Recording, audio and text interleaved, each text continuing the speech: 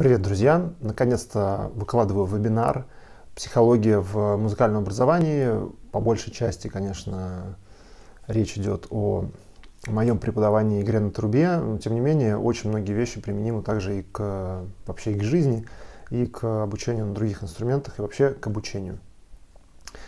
Будет сегодня несколько примеров. Э, я люблю очень приводить примеры реальные, потому что они дают реальные кейсы, а не какую-то там мысль просто, да. И сегодня будет три человека, планировалось четыре, но, к сожалению, из-за технических трудностей один человек не смог присутствовать. Но будут три разных примера. Один — это обучение в музыкальной школе и решение проблем на ранних этапах, насколько же это может быть важно. Э, два с половиной года человек, э, ребенок не мог играть что-то серьезное. И очень быстро начал расти, когда все стало э, на свои места, стал правильно играть. Второй пример – это решение проблем на уже полупрофессиональном уровне, это консерватория. И насколько же тоже важно вовремя э, начать делать все правильно, и тогда тоже начинаешь развиваться даже на высоком уровне. Довольно быстро решать э, какие-то проблемы свои. И третий пример – это просто любитель, которому сказали, что труба – это не его, и оказалось, что не совсем это так. Даже несмотря на то, что были определенные действительно э, трудности, как казалось, да, но я никогда на этом не зацикливаюсь и пробую решить вопрос. И, конечно, очень много зависит от того, какие у вас задачи и цели. Будем говорить об очень многих разных э, вещах, э, о мотивации, о волнении, тревоге, предрасположенности к инструменту или непредрасположенности – Э, я постараюсь сделать э, максимально подробный тайминг, как обычно, но советую посмотреть вебинар целиком, потому что э, все-таки одно дело я делаю тайминг, а другое дело вы смотрите и для себя важные какие-то мысли выписываете. Да? Не всегда те мысли, которые кажутся мне важными э, на данный момент, могут совпадать с теми, которые вам будут важны на данный момент. Если у вас появляются какие-то мысли, комментарии, вопросы, сразу их можете писать во время просмотра. Это всегда лучше, чем потом после просмотра пытаться вспомнить, что же я хотел сказать, написать.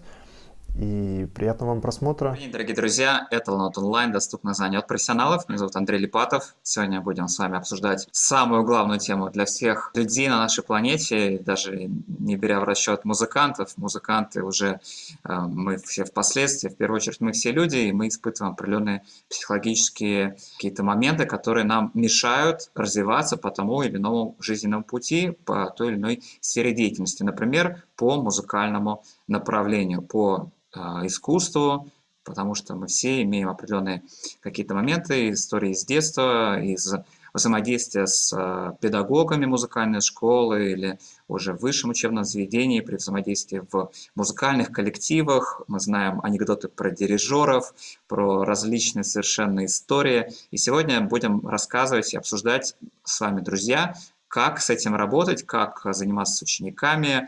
Своим опытом поделится с нами артист компании Yamaha, концертирующий трубач с наличием дипломов, лауреат большого количества конкурсов российских и международных. Это Семен Маркевич. Семен, доброе утро. Доброе утро, Андрей. Спасибо за представление такое.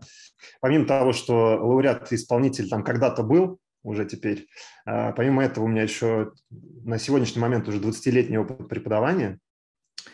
И сегодня как раз хочу поделиться этим опытом, почему выбрана эта тема и почему именно я о ней рассказываю. А, потому что задача моих преподавателей, как мне кажется, на тот момент, когда я учился, была научить тех, кому дано, и тех, кто хочет. А, при этом там, э, кому дано и кто хочет, у них определялось чаще, чаще наверное, результатами. То есть не тем, там, хочет ли реально да, ребенок, да, или что-то, а именно вот получается, значит, хочет, не получается, значит, не хочет. Э, Причем доходил до абсурда, там, да, люди, приходили дети, которые, родители говорят, занимаются часами, но не получается. А преподаватель говорит, ну, наверное, не занимается, значит, раз не получается, да. Такое, наверное, ну, конечно, бывает там, но смело предположу, что редко, что ребенок и родитель вместе оба обманывают преподавателя, да. Но это, в общем, незаявленная тема по поводу обучающихся именно, да. А, с, с большим преподавательским опытом я стал понимать то, что все-таки тема психологии – это такая одна из очень, в общем, самая такая, наверное, непонятная для преподавателей, для многих тема, и одновременно очень-очень важная. Тем более в моей практике, когда моя история привела к тому, что очень многие люди ко мне приходят именно потому, что у них долго не получается. То есть они уже мучаются там много лет, а вот у них не получается, не получается, не получается, не получается. И они уже приходят ко мне, говорят, ну вот если с вами не получится, то тогда не буду я играть на трубе. И вот, вот из такой вот ситуации мне э, людей нужно как-то выводить, объяснять, и, естественно, для этого нужны определенные доводы. То есть не может быть такого, что ну все у тебя будет нормально, и пошел. Потому что э, ну, приходишь ты к преподавателю, если человек поменял там 5-7 преподавателей, то очевидно, что он приходит уже без особой надежды такой, ну, это тот тоже говорил, что все получится. Да? И тут нужно какие-то обоснования. А, определенно, что есть люди, вообще технологии а, и психология, они, конечно, идут бок о бок. Естественно, есть люди, которые там очень талантливые и технически у них все правильно, и само вроде как получалось там легко, да, но это очень-очень маленький процент. И большинство людей – это все-таки люди, которые не предрасположены там, к деятельности на 100%, у них не всегда все получается, тем более, если мы говорим там о трубе. Хотя сегодня у нас, конечно, не заявлено, тема именно там игры на трубе, да, но я говорю через свой опыт, и поэтому я буду говорить о преподавании там музыки и трубы. Хотя по факту, наверное, труба – это такой самый требовательный инструмент именно к стойкости, что ли, спокойствию, потому что мы очень долго начинаем, запрягаем, да, то есть у нас в отличие от других инструментов, если я, я не могу просто взять и там нажать клавишу, например, как на фортепиано, и сразу услышать результат мне нужно будет поработать, а еще, чтобы попасть в конкретную ноту, нужно еще поработать. То же самое там скрипка, я вижу, куда нажать, например. Я не говорю, что другие инструменты легче. Я говорю о том, что у нас очень высокий входной порог. То есть нам для того, чтобы просто научиться извлекать ноту, которую мы хотим, нужно очень, иногда очень много времени потратить. А, поэтому в нашей теме наиболее важна психология. По поводу того, что иногда там преподаватель может сказать, что у меня сегодня есть вот э, четыре примера, ну, вернее, три, получается, да, осталось. Да, осталось. давай представим, кто у нас сегодня. Осталось три примера, один не доехал. Участвует. Да, в общем, а, сегодня у нас... А, почему я выбрал именно этих людей? Гоша, вы, наверное, знаете его, там кто-то знает из тех, кто мой влог смотрит, знают, как еще маленький мальчик, который там несколько лет мучился, у него не получалось, и сейчас он, вот, насколько я знаю, поступил в Гнесинку. Э, в колледж, да, с чем поздравляю. Э, вот. Э, второй пример, то есть это человек, который, ну, ребенок, который долго у меня не получалось там что-то, он через это прошел, и сейчас мы вот попробуем узнать, что он испытывал тогда, что он испытывает сейчас, как у него вообще дела там. Второй пример – это Петр Долинин, это человек, который, история которого, наверное, очень похожа на мою, только моя с не таким на тот момент, наверное, радостным концом, потому что ну, как бы с теми же самыми историями, с той же самой историей, которая была примерно у него, то есть там э, учится, учится, все вроде хорошо, потом в какой-то момент начинают повышаться нагрузки и перестает получаться просто, да. Ну, он не дошел, слава богу, до момента, когда вообще все перестало получаться, но я дошел, да. Вот. Тем не менее, он э, пришел ко мне, мы преодолели там определенные трудности тоже, и тоже был момент, когда, то есть ты уже в консерватории там учишься, да, и тебе нужно какие-то там давать результаты, и при этом нужно что-то там переставлять. Это тоже довольно такой сложный психологический момент. Э, третий пример – это э, Сергей. Э, Сергей – человек, который уже пожил много жизни там, да, увидел всякие разные других инструментах, играл, и у него была история в том, что ему в какой-то момент сказали, что труба – это не ваша, займитесь там другим чем-то, да. Мне тоже это говорили, вот. Тем не менее, он сейчас играет, и посмотрим, к чему это приведет. Мы недавно занимаемся, но тем не менее уже играет. И то, что я слышу, ничего абсолютно этому человеку не мешает э, быть э, хорошим э, трубачом с точки зрения, конечно, может быть, любителя, хотя кто знает. Да, и это, кстати, тоже очень важный момент, чтобы различать, вы вообще хотите любительски заниматься музыкой или вы хотите профессионально заниматься музыкой, это разные вещи. И, соответственно, этому надо свои какие-то там критерии подстраивать под это. А, ну и, собственно говоря, столько людей я уже научил, которые там, мне сказали, что труба – это не мое. Ну и, собственно, я сам же такой же, да, еще раз. А, поэтому, собственно говоря, да, у меня, конечно, есть трудности там определенные до сих пор, потому что есть у меня вещи, которые там не предрасположены к трубе, допустим, но, собственно говоря, с кем сравниваем, да? Я кайфую от игры на трубе. Допустим, я играю не как Сандаваль, не как на Коряков или не как Дакшица. Ну, так у меня и фамилия другая. Поэтому тут как бы что сравнивать, да? А, кому-то нравится там, как я играю.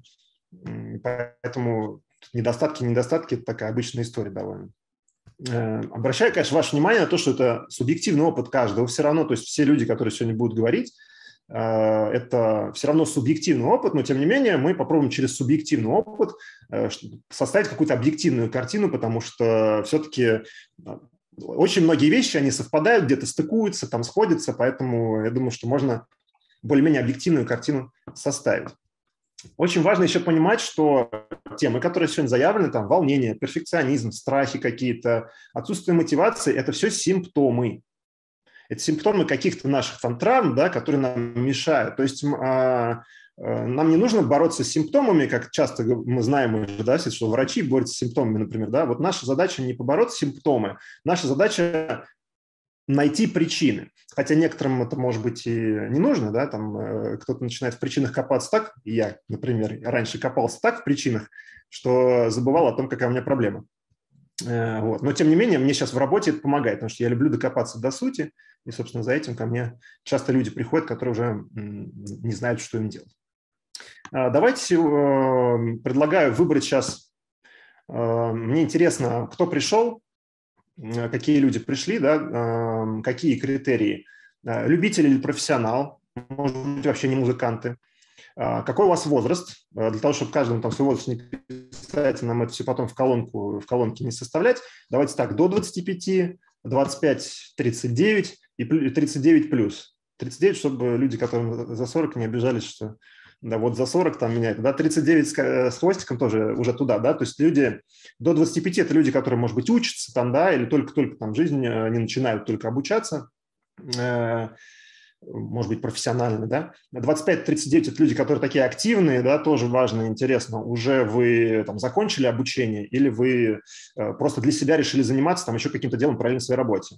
Ну, а 39 плюс – это уже устоявшиеся, состоявшиеся люди, да, которые либо уже музыканты, у них есть проблемы, либо они э, просто решили чем-то заняться, долго там, например, как Сергей, там долго сомневались, может быть, додумали там, э, и вдруг в итоге решили заниматься – и как оно получается, не получается. Ну, можете написать также, какие темы вам интересны, да, может быть, кто-то конкретно что-то хочет. Если, Андрей, там получится у тебя все это э, как-то, если народу много, там сложновато будет структурировать. Ну, в общем, а вот такие вот у меня вопросы к вам.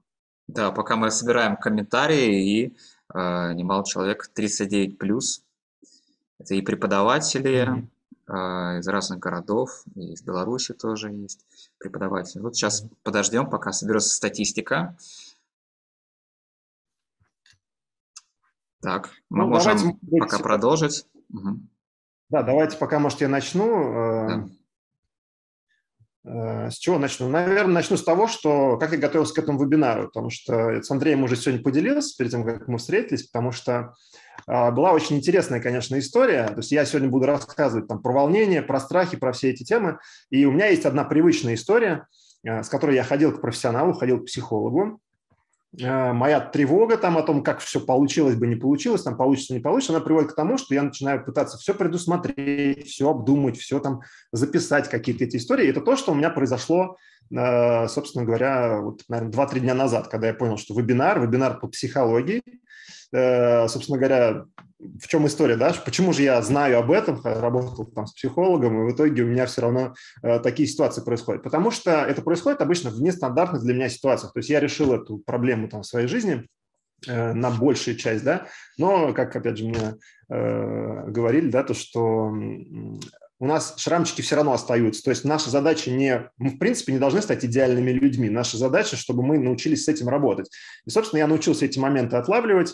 И даже в такой ситуации для меня стрессовой, когда я разговариваю, обсуждаю тему психологии, несмотря на то, что я не психолог, э, да, но я понимаю, насколько важна эта тема сейчас э, для музыканта, для исполнителей, для тех, кто учится.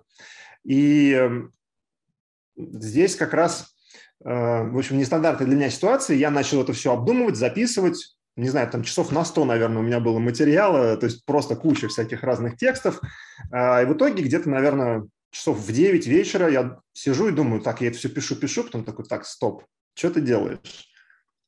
Э, либо ты знаешь, что сказать, то есть не то, что либо ты знаешь, что сказать, потому что ты с этим работаешь, ты с этим сталкиваешься каждый день, решаешь проблемы, там, вопросы своих учеников. А, сейчас что-то пытаешься сделать, записать все, что ты знаешь, зачем. То есть я, естественно, начал в этом всем путаться, там огромный пласт. В итоге я просто пошел спать, абсолютно спокойно. Ну, спать, может, и не спокойно, но, в общем, пошел спать. Проснулся я с утра, в общем, проснулся, чувствую просто абсолютное спокойствие. Потому что ну, я понимаю, что я знаю все, что я знаю, да, я могу это рассказать больше, чем я знаю, я рассказать все равно не могу. И, собственно, что я записал по этому вебинару. Сейчас я вам прочитаю. Сейчас э, перенесу сюда. Что я с утра записал, когда я успокоился, да? Э, я знаю все точечные моменты э, и не узнаю перед вебинаром больше, чем я знаю на сегодня. Мне нужно просто понять структуру. Это первый момент. Второй – Структура. Почему бы просто не привести твою ситуацию с подготовкой к вебинару в пример? Тут есть многое из того, о чем хотел э, говорить, и на практике, вот, собственно, и покажешь. А дальше просто постараться посмотреть на тему глобально, как на карту. Тут все взаимосвязано, проследить просто от чего к чему идем. Это второй момент. И вот эти вот э, огромные, огромный поток информации, это набор огромной информации у меня превратился, просто сжался до четырех пунктов с небольшими пояснениями. Первое, рассказать, что сам пережил сейчас во время подготовки. Второе, каждый ученик, у него своя история, и есть что-то разное, есть что-то общее. Нужно просто спросить каждого, поработать с реальными ситуациями, вспомнить это все. И там будет все, что нужно. Какие э, у нас заявленные темы? Про волнение, про страх, про мотивацию там есть, нет, про психологию при изменениях там, в технологии, про перфекционизм. Это все э, моя, моя повседневная работа, э, которую я, собственно, делаю. Э, и, собственно говоря, тут все что. И то, что нет индивидуальных решений, э, если там нужно индивидуальное решение, понятно, что это нужна индивидуальная работа, не нужно пытаться сделать вебинар индивидуальным для всех. Э, так, собственно говоря, не бывает, да, что всем, всем все объяснил, и все довольны, и все, все все теперь знают. Поэтому, собственно, еще помним, что это сфера психологии, и в ней есть свои специалисты, которые именно этой сферой и занимаются. Вот все, что я записал, я делюсь с вами педагогическим опытом, э, в котором я применяю эту сферу. Я не провожу сейчас психологический сеанс. Да? Для этого нужно идти к хорошему психологу. И только обязательно выбирайте его лучше по рекомендациям знакомых и друзей, э, результаты которых вам понравились. Потому что психолог работает с мозгами, это может быть больно, если поломают. Э, третья тема, как получать удовольствие, собственно говоря, она решается всеми теми вещами, которые мы скажем. Это третье, что я записал в плане. И четвертое, взаимодействие с преподавателем. У меня ну, очень много опыта по этой теме, я просто должен им поделиться. Все. То есть все вот эти вот вещи, которые я там писал часами, там почти сутки потратил на это, в итоге я просто их вот так вот структурировал в четыре пункта. Ну и, собственно, давайте теперь по этому плану пойдем. Да, да, предлагаю сейчас приступить. У нас э, сформировалась определенная уже статистика. В основном примерно 50 на 50, это до 25 лет, и 39 плюс, даже, может быть, 39 плюс чуть-чуть э, выходит вперед в пропорции. А также, конечно, есть э, несколько э, слушателей в среднем возрасте 25-39. Вот, но в основном Получается, те, кто э, делает свои такие первые фундаментальные шаги, и те, кто уже э, преподает и э, активно не знаем, э, живет в знаем, музыкальном искусстве. Мы же не знаем, что они делают. Может быть, они в 39 делают первые шаги, Андрей. Это тоже такой момент тонкий. А насчет да. любителя профессионалы? Насколько я вижу, что здесь э, в основном профессиональная аудитория, те, кто преподают, те, кто исполняют. А, ну, конечно, есть и а, любители. Максим – ортодоксальный любитель. А, Анатолий – юрист, барабанщик, тоже любитель. Вот. Так что разная аудитория, но вот преимущественно так вот. Ага, я понял. Ну, в общем, давайте тогда, собственно, начнем с меня. Мне 36, я почти 39 плюс получается. Вот. Но я уже профессиональный музыкант, профессиональный преподаватель. И я сейчас расскажу, собственно, по плану, да, что у меня происходило с вебинаром. Вот я, вернее, рассказал уже, да, что у меня происходило с вебинаром. А, что в итоге произошло? Я просто остановился да, и спокойно с этой темой разобрался. А, значит, по поводу страхов. Давайте теперь дальше у нас по страхе, волнение, вот эти все истории. Да? А, нужно понимать, что страх – это такая вещь, которая может быть полезна. Потому что страх, что это такое страх? Это значит, что мы думаем, что нам что-то небезопасно. И нам нужно понять, собственно, а что там опасного такого, что может произойти такого, что мы вот боимся. То есть это здоровое, нужное нам чувство. Не надо его Э, там, делать своим врагом, пытаться его э, заткнуть, там, да, и как-то, не знаю, там, преодолеть, это, конечно, такая история, которая довольно часто советует, что свой страх надо преодолеть. Но тут есть такая тема, что преодоление – это как бы очень большое напряжение и очень опасная тема тем, что если вы э, пытаетесь преодолеть, но вам, например, не хватает сил там, или не хватает смелости, да, то вы начинаете себя. Э, я слабый, там не могу преодолеть эти системы. Да? То есть на это надо очень много энергии, решиться, не решиться, могу, не могу, там, получается, не получается. И э, эту энергию можно очень долго тратить, и в итоге так и не прийти к результату. Это будет самое больное, самое обидное, что в итоге результата нет. Поэтому Первое, что нужно понять, страх-то обоснованный или нет, и задать себе вот этот вот вопрос, да, что, собственно, может произойти такого опасного, что самое страшное случится. Вот если, допустим, а, у меня этот страх он произойдет, да, у меня был такой страх, ну, вспомню свою историю, если брать, э, что я в консерваторию не поступлю, потому что когда у меня начались проблемы с губами, я испугался, что я не поступлю в консерваторию. Для меня это было самое просто, ну, катастрофа, в общем.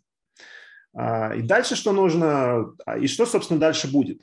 Я тогда для себя рассуждал, что если я не поступлю в консерваторию, все, это конец вообще. Ну, то есть я все, все время к этому шел, и вот оно раз, и оно не получилось. Не по... Это будет, был бы кошмар, да? Но в итоге э, так и произошло. Мой самый страшный кошмар – я выиграл конкурс Табакова в 2004 году, первую премию получил, и э, вот, собственно, думал, что понял, что у меня какие-то проблемы начинаются, и для меня стало, стало очень э, стрессовой ситуация, что я понимаю, что, блин, я же могу не поступить в консерваторию, хотя я готовился к этому, ну, вот все годы, пока учился, так и готовился. Но, э, как показала жизнь, собственно говоря, воплощение самого страшного кошмара – это не так уж и плохо. Э, я боюсь представить, что было бы, если бы я поступил. Э, это могло бы быть, наверное, гораздо большим кошмаром, потому что это был нарыв, который зрел, и так его, ну, как бы, в итоге его прорвало, получается, да, то есть у меня он зрел, зрел, зрел, и в итоге его просто прорвало. Э, я не поступил в консерваторию, суета, все дела, там куда-то побежал, в какой-то институт там поступил, не в какой-то, в институт имени Политова Ивана, спасибо, что приютили, вот, поступил к человеку, с которым мне наверное, очень повезло, э, Дубровин Евгений Дмитриевич, э, очень повезло в том плане, что он мне сказал, я не знаю, как надо, я вижу, что у тебя проблемы, я не знаю, как надо, я знаю тысячу способов, как не надо. Наверное, это странно слышать от преподавателя, но тем не менее он мне сказал, я вижу, что ты занимаешься там какими-то своими делами, что ты ищешь, я тебе мешать не буду. И он меня прикрывал вплоть до самых до зачетов, и огромное ему за это спасибо. Это, наверное, то, что мне тогда именно было нужно. И это то, о чем мы сегодня, может быть, тоже поговорим если успеем, как выбрать своего преподавателя, да, потому что мне вот повезло, что в момент, когда мне нужен был такой преподаватель, который просто меня поддерживал и говорил, давай, ты занимаешься, я вижу, делаю там свои дела, я не знаю как, но я вижу, ты найдешь. Да? И в тот момент мне нужен был именно такой преподаватель. А, в итоге я нашел, и теперь, собственно, помогаю другим находить. То есть мой самый большой кошмар, который реализовался, в итоге э, стал, ну, скажем так, подарком, наверное, в какой-то степени, да, потому что огромное количество людей из разных городов, уже из разных стран э, ко мне обращаются, я им помогаю, вижу эти результаты, и теперь консерватория приходит ко мне заниматься иногда. Э, тут э, ремарка нужна в том, что я не считаю, что это проблема наших вузов, потому что многие мне после того, как я выложил видео с Пети, сказали, что как так, консерватория, там что такое. Вузы не должны заниматься базовой технологией. Это просто не их история. А, да, поэтому это тоже важно понимать, и тут скорее важно, наверное, чтобы структура вуза у нас немножко поменялась, и чтобы я говорю, наверное, сейчас по преподаванию именно технологии трубы, там, да, чтобы у нас была, был предмет технологии трубы. У нас есть э, методика там, э, игры на духовых инструментах, но я был на этой методике. Привет и преподавателю своему передавать не буду. Э, может быть, он увидит этот вебинар. В общем, ну, слушать это было просто невозможно, честно говоря. Это профанация полная, просто э, ну, неинтересно, в общем, ни о чем. А, поэтому это нужны именно люди, которые разбираются в технологии на практике, которые могут, э, например, там, ученику, да, на предмете показать, то есть преподаватель там трубы по технологии трубы, преподаватель по технологии скрипки, там, я не знаю, да, потому что пока у нас такой провал, то есть люди приходят после школы там, и училища, и их начинают заново учить, как играть на инструменте. Это ненормально. То есть этим уже не надо заниматься в, в ВУЗе. Но, тем не менее, пока эта проблема присутствует. На мой взгляд, решение такое. Дальше. А, по поводу еще страха. Да, важно понимать то, что что реально, что нереально. То есть насколько мы, вот мы задали себе вопрос, там страшно, почему страшно, да, что произойдет, если будет страшно. Посмотреть, это реальность или нереальность, реально ли такое может произойти. Потом посмотреть, зависит от меня или не зависит от меня. Если от вас не зависит, то понятно, что тут уже ничего с этим там не сделаешь, да, нужно просто принять и работать с тем, что есть. А, но большинство страхов, на самом деле, они не такие уж и реальные. Как, например, мой про то, что я не поступлю в консерваторию. Конечно, это был стресс, но это был стресс, потому что я не знал, что дальше. И это основная, собственно, причина страха. Мы не знаем, что дальше. Поэтому нам э, страшно, мы не понимаем, если мы говорим про, там, например, э, изменения какие-то да, в э, постановке. А, давайте, ну, в общем, если коротко, цена многих ошибок преувеличена, короче говоря, да? так, же, так же, как и ценность мнения других о ваших поступках. Давайте перейдем к Георгию. Мне хочется у него спросить, как у него сейчас дела, как он какие у него были, может быть, страхи, там, да, волнение какое-то, как он справлялся с мотивацией, когда он много лет мучился. Я не очень представляю, честно говоря. Я даже задумывался на эту тему, а стал ли бы я трубачом, если бы у меня была такая ситуация, как у Георгия. То есть у меня была ситуация, что я играл с детства, у меня все получалось довольно легко на самом деле, а потом у меня случился вот такой вот э, провал. А у Гоши у него наоборот, то есть у него сразу был такой, э, такая история, когда вот он занимается, занимается, занимается, занимается, а ничего не получается. И вот мне интересно, к сожалению, у нас был еще четвертый пример, как раз человек, который в детстве занимался, занимался, у него не получалось, а в итоге он во взрослом возрасте пришел, и все получается. Это очень интересная работа сейчас у нас идет. А, вот, но, к сожалению, этого примера не будет. Ну, давайте послушаем э, Гошу. А, сначала хотел сказать по поводу мотивации. Вот с этим у меня вообще никогда не было проблем, так сказать, потому что сколько я себя помню с инструментом, все было в радость. Мне все время, все время очень нравилось заниматься играть и пробовать что-то новое. Поэтому это вообще никогда не было даже пунктом в списке моих проблем. А как ты, э, ну, то есть э, тебе нравилось заниматься, даже когда у тебя не получалось? Ну, когда не получалось, хотелось, чтобы скорее получилось. И я делал все возможное для этого. То есть ты был в ожидании, что получится когда-то? Да. Ну так. А что касается того, что ну, с этим у тебя не было проблем, окей, когда ты пришел, э, у тебя стало получаться, и ты что испытал, какое ощущение? Я такую как бы радость и свободу э, ощутил довольно уже скоро, ну, когда стало получаться. Э, мне стало намного приятнее, комфортнее, естественно, играть на инструменте, заниматься, э, развиваться. Я наконец-то начал не стоять на месте. И даже тогда сколько мне было, 8, 9 лет, я даже тогда это смог почувствовать.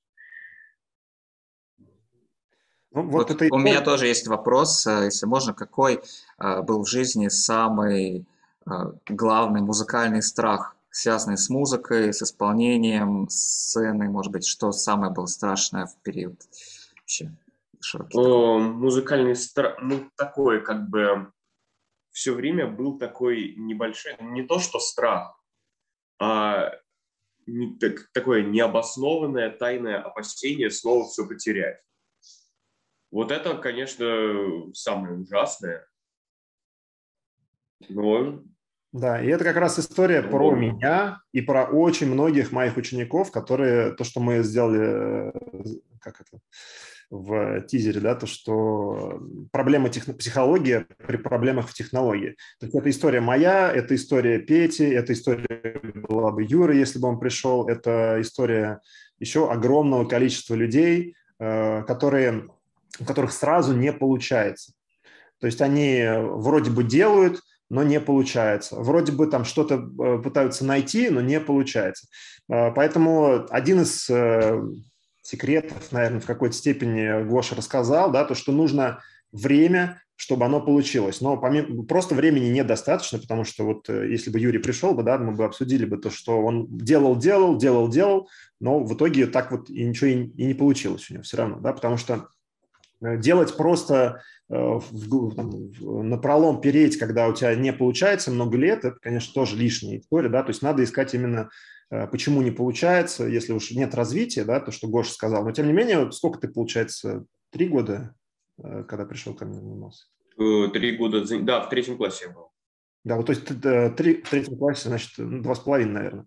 Э, два с половиной года ребенок терпел, занимался, и в итоге оно получилось. Если говорить про меня, то я терпел с 20 лет, получается, до, наверное, где-то там 33. То есть я терпел вообще 13 лет, мне постоянно каждый день казалось, что вот у меня получается, потом опять не получается, и самый большой страх у меня был, что у меня опять перестанет получаться. И если уж мы говорим откровенно там, да, про, э, про примеры, мой личный пример, что я до сих пор очень э, ничего не записываю, например, там, да, ну, особо не записываю, там, иногда какие-то записи у меня есть. Э, я очень редко выступаю, потому что э, у меня до сих пор не до конца есть уверенность в том, что хотя я уже абсолютно спокойно играю, даже когда у меня плохое состояние, то есть э, по сравнению с тем, как раньше был, да, я сейчас вообще не занимаюсь, могу играть свободнее и легче, чем раньше, занимаясь часами. А, но этот страх того, что я сейчас пойду, а, у меня э, вдруг опять все, значит, начну там играть, да, у меня будут какие-то концерты, и вдруг у меня все опять развалится, провалится. Это вот, это вот тот страх, который меня со мной вместе Э, с тех пор, как у меня вот эти проблемы начались. И с ним работать э, мне очень непросто. Хотя я с ним работаю, но вот до момента там каких-то глобальных вещей я, э, там, типа записи альбома, например, да, или концертов каких-то больших, мне сложно добраться пока.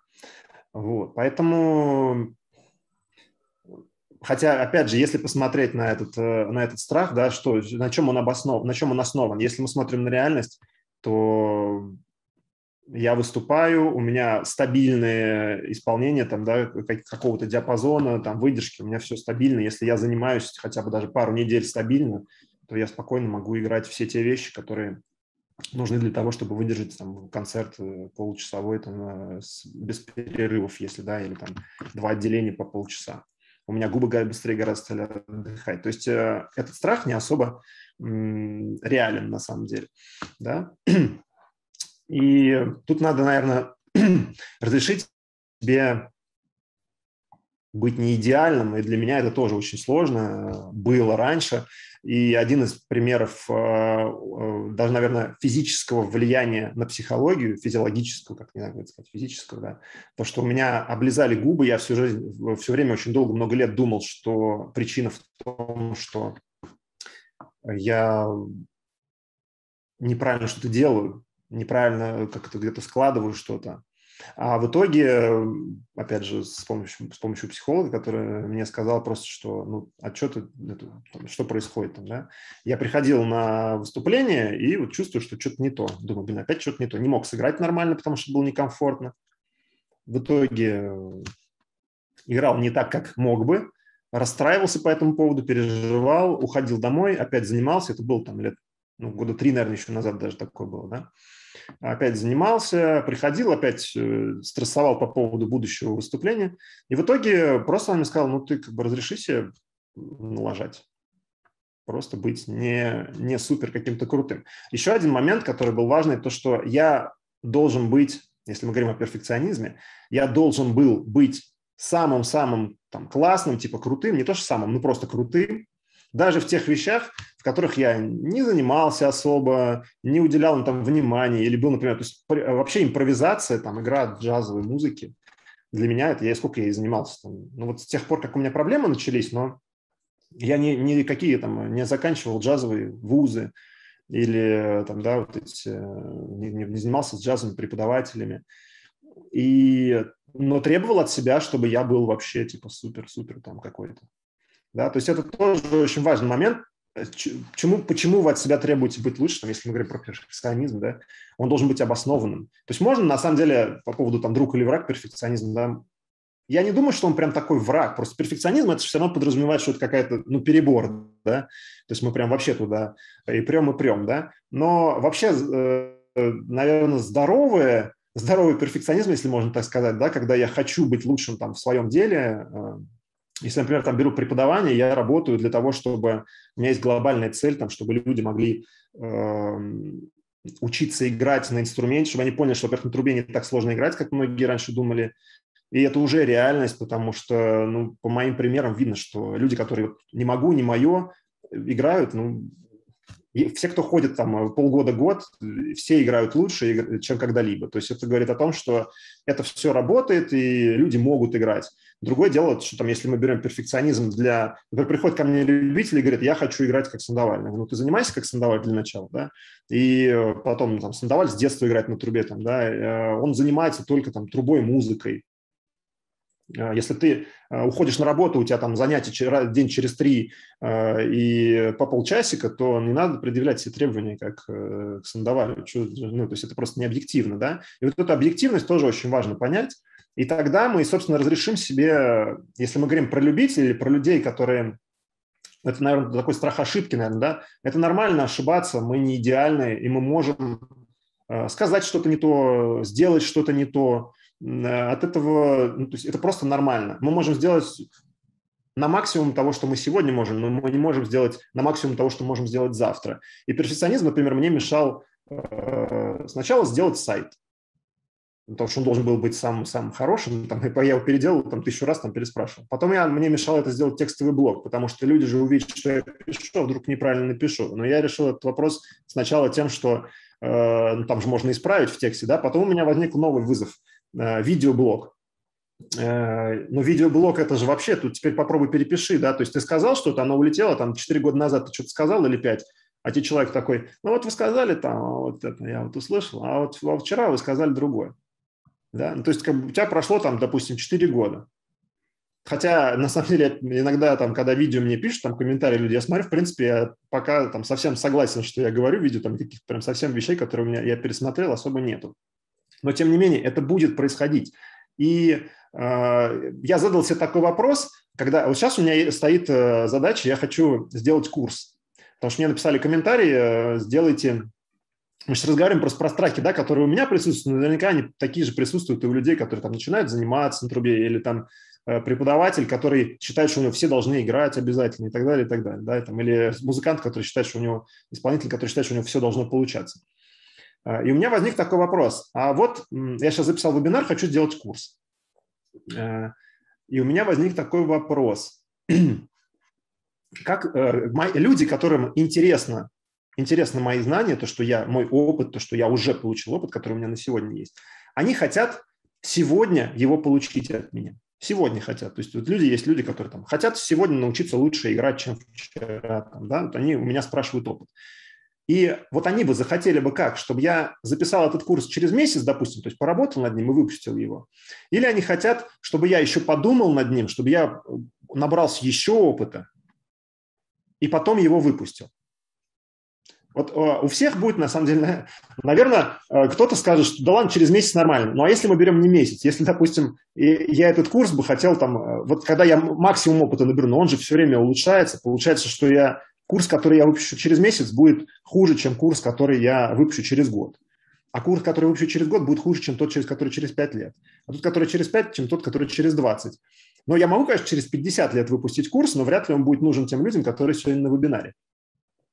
И дойдя до этого абсурда, я понял, что ну окей, как бы через 50 лет, конечно, я буду за это лучше, но кому нужно будет, нужен будет этот курс? Э, внукам, которые, нашим внукам там, да, э, но при этом э, нашим внукам-то, ну, я как бы дальше буду развиваться. То есть, получается, идеально это записать курс, сделать его в, свой, в свою последнюю минуту там, своей жизни. Вот тогда это будет тот курс, который я дал максимум того, что могу. Но это же полный абсурд. Да? То есть люди хотят сейчас получить опыт, и у меня его много. Конечно, я могу сказать что-то не так, сделать что-то не так. Но я сделаю то, что я могу сделать на сегодня. Это вот было про как раз э, страх там, да, мой, что я вебинар этот бедный там э, и так и сяк, и, и туда написал, и сюда написал, и, и в итоге только стал путаться в том, что я написал. Поэтому важно понимать то, что мы на сегодня вот готовы вот настолько. Э, еще один такой момент. Но здесь я стоит хотел... отметить, что это абсолютно Э, проблема каждого человека, исполнителя, потому что все боятся выпускать свои альбомы, откладывают учебники, издавать любые продукты, потому что хочется стать еще лучше, еще лучше, еще лучше. И всегда нужно поставить все-таки точку золотую, как с ремонтом. Его и можно только закончить. И мы будем лучше, да. А еще один момент классный, я подумал, когда делал, готовился тоже к вебинару, что вот я не могу записать курс, а потом подумал, Андрей, Липатов Андрей, э, сделал вообще компанию. Да, то есть я там какой-то курс один боюсь записать, переживаю. А он записал уже столько этих курсов, уже столько всего. Посмотрите, вот э, просто люди, у него же становится больше там подписчиков у, у Ланот онлайн, да, там больше каких-то людей, которые пишут там благодарность, которым помогает это. Почему? Потому что он делает, он выпускает, он не ждет, когда у него компания будет наконец такая, что вот теперь-то он ее запустит, и она будет идеальной. Он делает и в процессе начинает там какие-то правки вносить, да, потому что мы можем ошибки исправить, этот страх ошибки, да, что, ой, я ошибусь. Ну, конечно, ты ошибешься когда-нибудь там где-нибудь, но это, эта ошибка поможет тебе только ошибившись, ты можешь сделать вывод и эту ошибку исправить. А строить там у себя в голове э, мы можем что угодно. Мы не, не поймем, есть ли ошибки в этом, пока мы на практике не применим. Попытаться все предусмотреть это тоже очень много историй у меня в жизни есть, когда ты пытаешься все предусмотреть, а в итоге жизнь тебе говорит, а вот как с консерваторией, например, я думал, что я 100% поступлю. Типа, какие у меня шансы не поступить? Я уже лауреат первой премии конкурса Табакова. Для трубачей московских там и российских это значит, что ты топ. И вот тебе раз, я не то, что не поступил там, да, а еще дай бог, чтобы вообще что-то играл. Поэтому вот это вот э, все, все сделаю, все предусмотрю, это тоже такая история. Я бы хотел сейчас э, к Пете, с Петей немножко пообщаться, потому что я знаю, что надо уходить. Он сказал, час у него есть, осталось у нас буквально 15 минут. Я бы хотел его историю разобрать. Э, Петя, расскажи, поделись, какие у тебя были ощущения, как ты попала ко мне, с какими мыслями, какие у тебя были там страхи, да, и что в итоге? Да, друзья, всем привет. А, спасибо большое, Семену, что начал а, очень важную тему, на самом деле, поднимать. Я слушаю вас, смотрю на вас и думаю, действительно, перфекционистом быть нельзя. А, Все это, наверное, берет э, начало от юношеского максимализма. Вот как говорит Семен, например, да, хотел поступить в консерваторию, очень сильно боялся и думал, что все. Ну, сколько тебе было? Лет 20, наверное, в это время, да, когда поступал в консерваторию? Ну да, 19-20. Вот. Э, юношеский максимализм как раз вот оно самое. Это время для него. И все. И ты думал, что после этого жизни нету. Да. На самом деле я тоже очень хотел поступить в консерваторию. Я думал, что вот я поступлю в консул, и вот там вот, ну, скажем, все будет хорошо. Это, знаете, как? Эм, чему, к чему ты идешь, идешь, идешь, идешь, и думаешь, вот, наконец, и вот это сегодня, вот я в списках узнаю, вот он, я здесь, и думаю, все, с этих пор жизнь моя пойдет совершенно по-другому. Но так это, к сожалению, не работает. Э, дни идут дальше, и ты думаешь, так, подожди, ну вроде как ничего не поменялось. Поменялись, по сути, стены, куда ты ходишь, труба осталась той же самой, ты остался тем же самым, просто у тебя чуть больше опыта стало.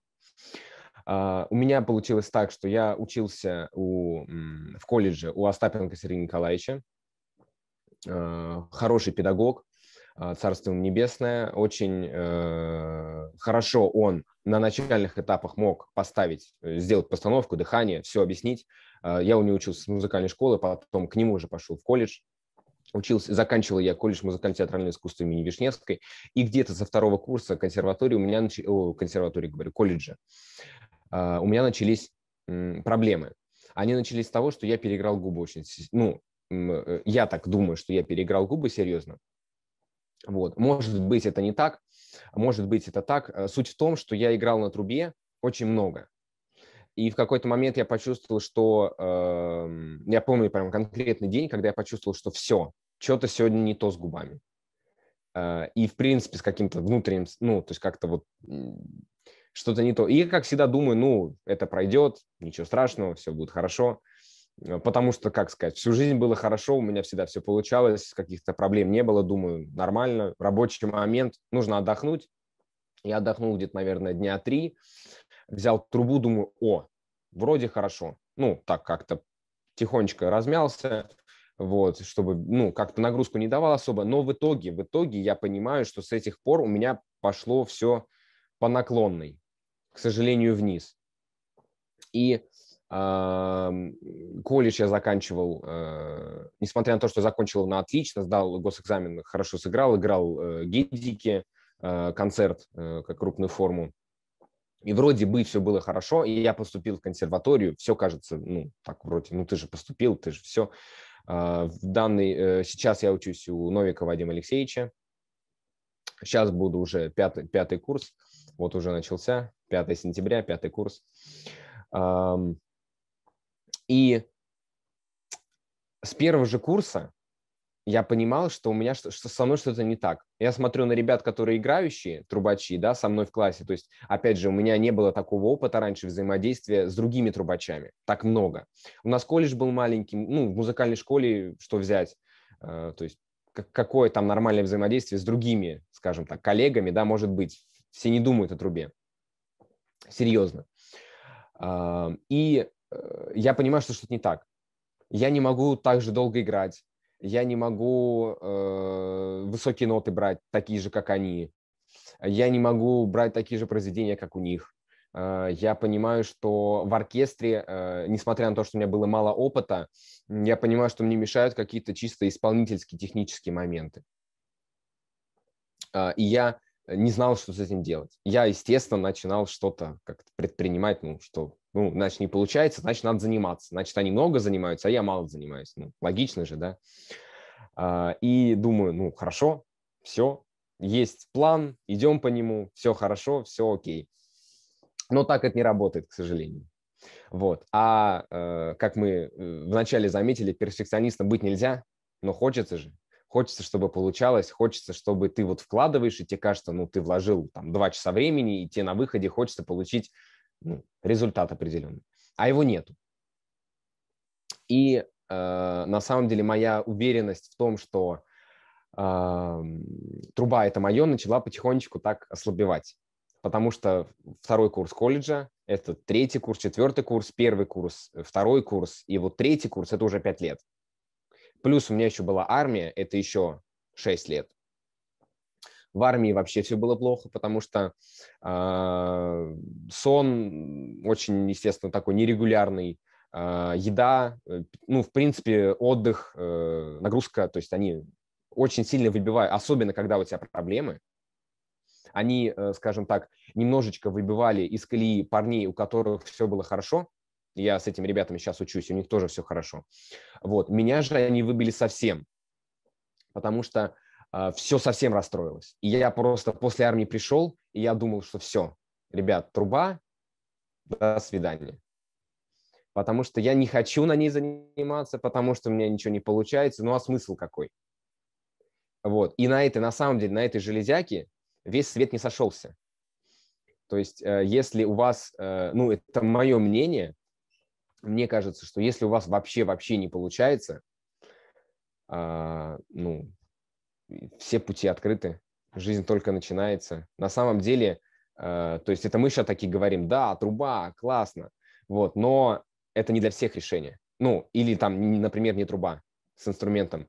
А, тут надо тоже реально оценить э, свои шансы, реально подумать, э, потому что а, если вы хотите э, не знаю, чего-то добиться, нужно э, это, ну, подумать вообще, сможете ли вы это сделать или нет. Но это мы, это мы, больные люди, музыканты все, особенно трубой больные, здесь собрались. И э, вот, э, ну, пытаемся, пытаемся, и у нас получается. Ну так вот, доучился я до третьего курса, и так получилось, что я наткнулся на, э, в Ютубе на видео э, Семена Почему не получается играть на трубе? По-моему, такое видео было на канале у него. Главная причина, почему не получается. Да, да, да. Главная причина, почему не получается. Оно где-то шло 25 минут. И это редкость, что э, я посмотрел все видео, потому что обычно я начинал смотреть, э, особенно видео вот, трубачей, там, да, педагогов, и ты смотришь, думаешь, ну не, ну правильные вещи, конечно, говорит, но это все так вот общем, обтекаемо.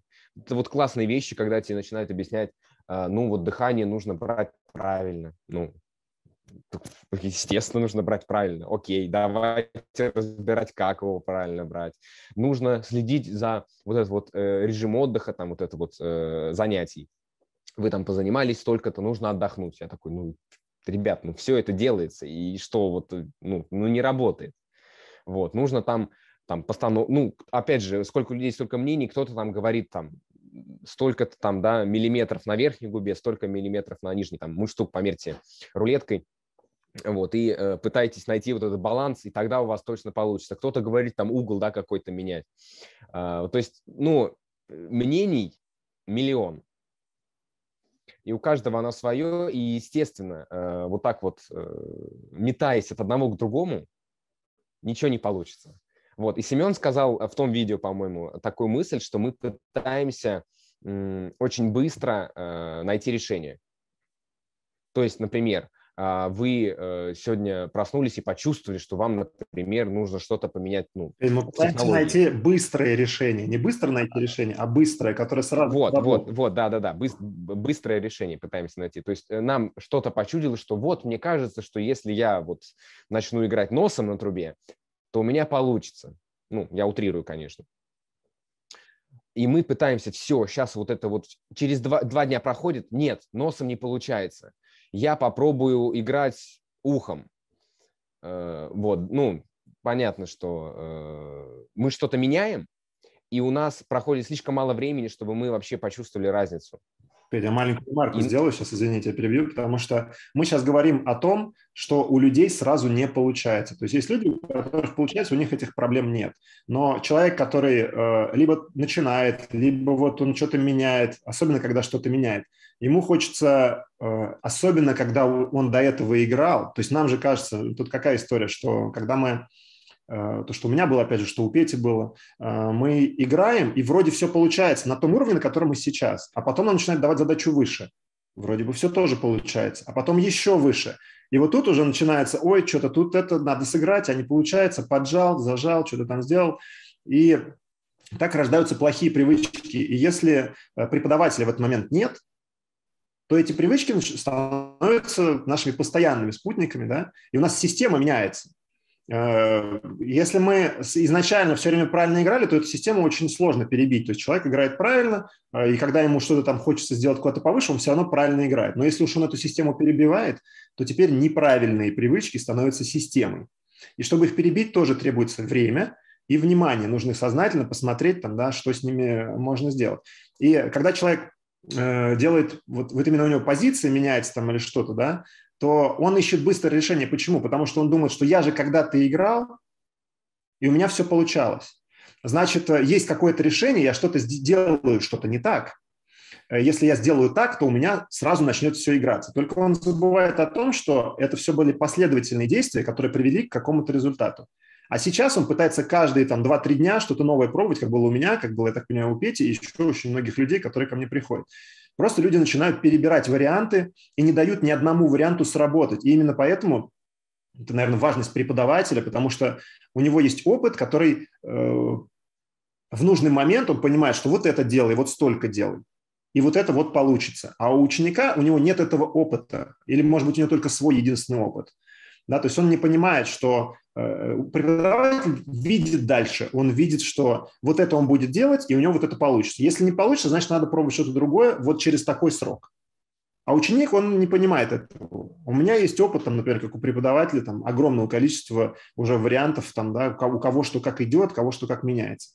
Поэтому я могу даже ученику иногда пообещать, сказать, как раз когда вот есть страхи, что не получится, да, если я вижу, что определенные там какие-то сигналы, там, да, я вижу, что, например, у него там сейчас раз чуть-чуть и начнет получаться через столько.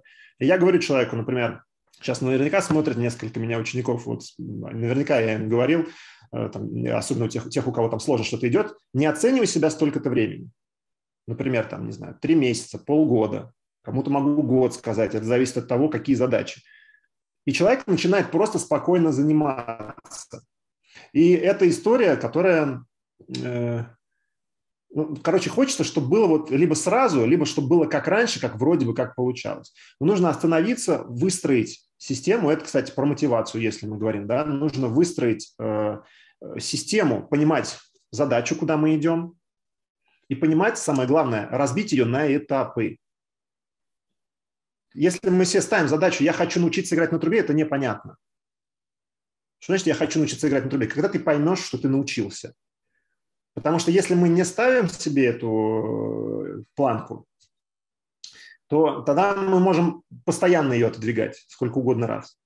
Вот мы сделали это, и вдруг такие, ой, э, ну, я вот это хотел, но я хочу вот это теперь. И мы постоянно можем быть недовольны. Это такое э, благодатное поле для перфекционизма вечного да, что я вот это хотел, вот это, теперь вот это хочу, теперь вот это хочу, и все время недовольный. А если мы себе ставим, например, задачу, я хочу научиться играть на трубе, я хочу через год сыграть Summertime. Потом мы эту задачу, хочу сыграть Summertime, смотрим, а что мне нужно сделать для того, чтобы сыграть Summertime. Если мы берем Петю, например, там, да, того же самого, что, что я хочу получить? Вот, Петя, что ты хотел получить? Когда ты ко мне пришел? Ну, э, конечно, я хотел получить э, более широкий диапазон. А что такое более широкий диапазон? А какой? Ну как, я просто понимал, например, что вот, грубо говоря, у меня не берется там, например, стабильно нота ре третьей октавы. Вот. И мне хотелось бы там ре ми лазить в нее стабильно. Вот я, то есть, как бы, об, ну, такие задачи. И, например, э, про низ тоже, если говорить про конкретно, вот, что вот я хотел. Э, внизу тоже были определенные сложности, потому что не было контроля там никакого. Вот. Э, то есть эти крайние регистры, самые сложные, да, вот с ними и были проблемы. Например, у меня была очень плохая выдержка. Я прекрасно понимал, что я полчаса поиграю, у меня губы сдулись, и все, я сдулся. И, и у меня дальше... восстанавливаются потом. Если на ткани, они потом не восстанавливаются. Это тоже проблема такая. Вот. И получается, нужно очень большой перерыв делать себе. То есть получается даже следующий день. Ну, как это? А как, э, как, как это, ну, э, если у тебя, например, репетиция сегодня утром, а вечером у тебя выступление, это как? И как Теперь ты скажи, станешь? Ты помнишь, с чего, с чего мы начали? Когда ты пришел, с чем мы начали заниматься, чем? Вот у тебя была задача сыграть, играть стабильно ре третья октава. Хотя ты уже видишь, тоже это забавная история, ты тоже двигаешь вот эту планку постоянно. Ре, ми третий уже там, где фа, там уже фа, соль, там туда уже хочется, да? То есть э, на самом деле стабильно ты не играл даже соль второй. Я помню, соль ля, у тебя да, ля уже да. была проблема. То есть нет, То они есть, получались, они получались, получались, но они звучали не так, как надо. Да, и да. не так, как... Чего мы начали? А я это, я это не слышал. И вот с чего мы начали заниматься Семеном. Семен, э, что мне очень понравилось сразу же, он очень э, грамотно определил ну, корень проблемы, откуда все начало э, разворачиваться. У меня была проблема с дыханием, то есть я настолько мало брал дыхание, то есть настолько я уже, скажем так, груз вот этих проблем всех за, начал зажиматься, э, так, что я брал дыхание через кончики губ, зажимая э, очень сильно их, ну, как бы подсасывая воздух. То есть, а, естественно, о никаком полном нормальном э, вдохе нельзя было сказать. И э, мне что понравилось, что это как-то меня чуть-чуть э, вектор моего поиска, что ли, да, моего, э, восп... ну, как сказать, восприятия вообще, да, вот этого процесса игры поменяло. Мне Семен сказал, говорит, ну, нужно правильно выдыхать. А для того, чтобы правильно выдыхать, нужно правильно вдыхать. Вот, потому что я всегда был занят этим выдохом, ну, типа, ну, ну как, вроде воздух-то я беру, ну, что, ну, вот, дышу же вроде, да, вот, и надо выдохнуть как-то правильно. Но я так думаю, так, подождите, окей, вдох. Вдохнули правильно, наверное, и выдох будет правильным. Вот. И э, Семен тут, конечно, помог. Э, вот это. Но, э, кстати, возвращаясь еще, э, вот э, Семен сказал, что э, у Димы был хороший преподаватель, в Ипполитова Иванова, да, который сказал, что я тебя, значит, грубо говоря, занимайся своими делами, но это тоже проблема сейчас есть такая актуальная. Ведь не каждый преподаватель так скажет. Я даже скажу, это, по-моему, ну, один из тысячи, который так скажет. Я не сказал хороший, я сказал, что тот, который мне был нужен. Вот, ну тот, который был нужен, ну... Для меня хорошо. он был хороший в данном, в данном да, да, да, да, для тебя, для тебя конкретно, да, мы же говорим про субъективные вещи. У меня, например, совсем другая история с меня всегда требовали. И по, по, когда с тебя требуют, ты начинаешь, давай, тебе нужно, ну, соответственно, ты мало занимаешься. Даже не убегай, я хочу немножко, я понимаю, что ты накипело, я хочу немножко эту тему в другую сторону сейчас, смотри. Я почему тебя спросил, с чем мы начали, понятно, дыхание понятно, а именно с точки зрения, вот ты диапазон себе поставил, хочу ре третий играть уверенно, а с чего мы в диапазоне начали? А с диапазоном мы начали, э, как это ни странно. То есть мне казалось, что, кажется, мы сейчас сразу ре третий типа начнем мочить. Ну, грубо говоря, ее тренировать, да? Проблему решить ре третий, да? Вот, да, да, да. У меня же, ну, с, с ре третий проблема. Больше это ни с чем. Э, ну, мне так казалось. Семен послушал меня и говорит, у тебя после соль второй октавы уже начинает пропадать ну, яркость звука, широта, вот эта вот э, краска. Э, и мы начали э, со второй октавы э, ну, ну, со второй части второй октавы, да, то есть соль э, до, до третьей, мы начали, э, ну, как сказать, с правильным вот этим вот дыханием, которое э, с, с нормальным вдохом. Я бы сказал так. Ладно, я понял, ты не помнишь, в общем. А, история была в том, что я тебе дал гаммы до фа второй октавы играть несколько раз в день. Ты не играл вообще выше там, до фа, до соль, это был максимум. Мы не играли ля, си, до, гаммы сначала. То есть я сначала дал тебе именно, чтобы у тебя прозвучалось фа, и от этой фа то есть до фа был хороший диапазон. Я взял его за основу, и мы стали этот звук э, двигать на фа диез, на соль. Потом, когда стала звучать соль, в моем понимании, да, а, мы стали уже там соль диез двигать, ля, и там уже дальше пошел уже процесс, потому что ты понял, что должно, это тоже очень важный, э, важное, э, как это сказать-то, эм, забыл. Ну, важная ступенька в развитии. Нет, нет, э, важная, преподаватель чем важен, да, то, что у него Э, он э, понимает, что должно звучать. То есть ученик не всегда понимает вообще, что должно получиться-то. То, что ты говоришь, что, что ты играл там вроде до до ре третья, пришел, я тебе говорю, а у тебя есть соль, как бы второй, это не очень. Ну да, для меня это И было когда, странно. Когда ученик начинает понимать, что должно получиться, у преподавателя это есть, а у ученика этого нет. Он понимает, фа вот так, я говорю, вот это вот должно быть и соль, и ля, например. И тогда он начинает слух, уже начинает привыкать тоже это делать. И это такой тоже тонкий психологический момент, когда тебе нужно Э, тоже то, что я говорил тоже недавно там в предыдущих видео, там в, во влоге, э, что тебе нужно отстраниться от результата и попробовать делать то, что ты должен, и посмотреть, то есть э, правильные действия двигать на вот этот диапазон. Не пытаться как-нибудь сыграть ноту там выше, да, а именно двигать на диапазон то, что до этого у тебя правильно получалось. Естественно, надо там смотреть, э, правильно, неправильно оно все работает. Собственно, к этому я и просил тебя поделиться, да, то, что, потому что у тебя есть вот этот опыт такой же, как у меня, э, что вот оно получалось, потом мне получалось вроде как, потом опять получается. Но тут еще вот момент есть, что в принципе, в целом, да, надо понимать, может быть, у тебя когда ты получалось, на самом деле, выше свободней. Просто в какой-то момент ты стал играть выше, сложно, и привычка начала образовываться, что вот эти ноты лучше подожму, потому что надо их сыграть. То есть это э, момент, когда Почему очень многие люди, так плавно перейду немножко неожиданно на тему, почему очень многие люди волнуются на сцене? Да и в занятиях тоже. Вот я тоже видео недавно выложил с Юрием, который как раз не попал к нам сегодня, к сожалению. Почему очень люди, многие люди испытывают волнение? Потому что у нас, мне в детстве такие надо давали истории. То есть мы на концерте в детстве, в школе музыкальной там где-то, нам часто дают произведения, которым мы просто банально не готовы по разным причинам. А, именно э, они готовы технологически. Да, то есть у нас эти песни играются нелегко, мы еле там вытягиваем программу. Так нельзя делать. В чем минус, собственно говоря, нашего государственного образования? В том, что у нас есть теперь вообще там прям программу написали, что у нас должна быть вот такая программа, вот это мы должны исполнить. И преподаватель начинает за этой программой гнаться. Им вообще не, не, ну не все, конечно, фу -фу -фу. Но, но э, это не то, что даже э, не все начинают, им их обязывают, наверное, даже, да, вы должны выполнить такую-то программу. И преподаватель дает не ученику на вырост, а думает, так, а мне надо поразить директора, чтобы он услышал, что вот он играет там вот такую-то ноту или вот такую-то вот произведение уже в третьем классе.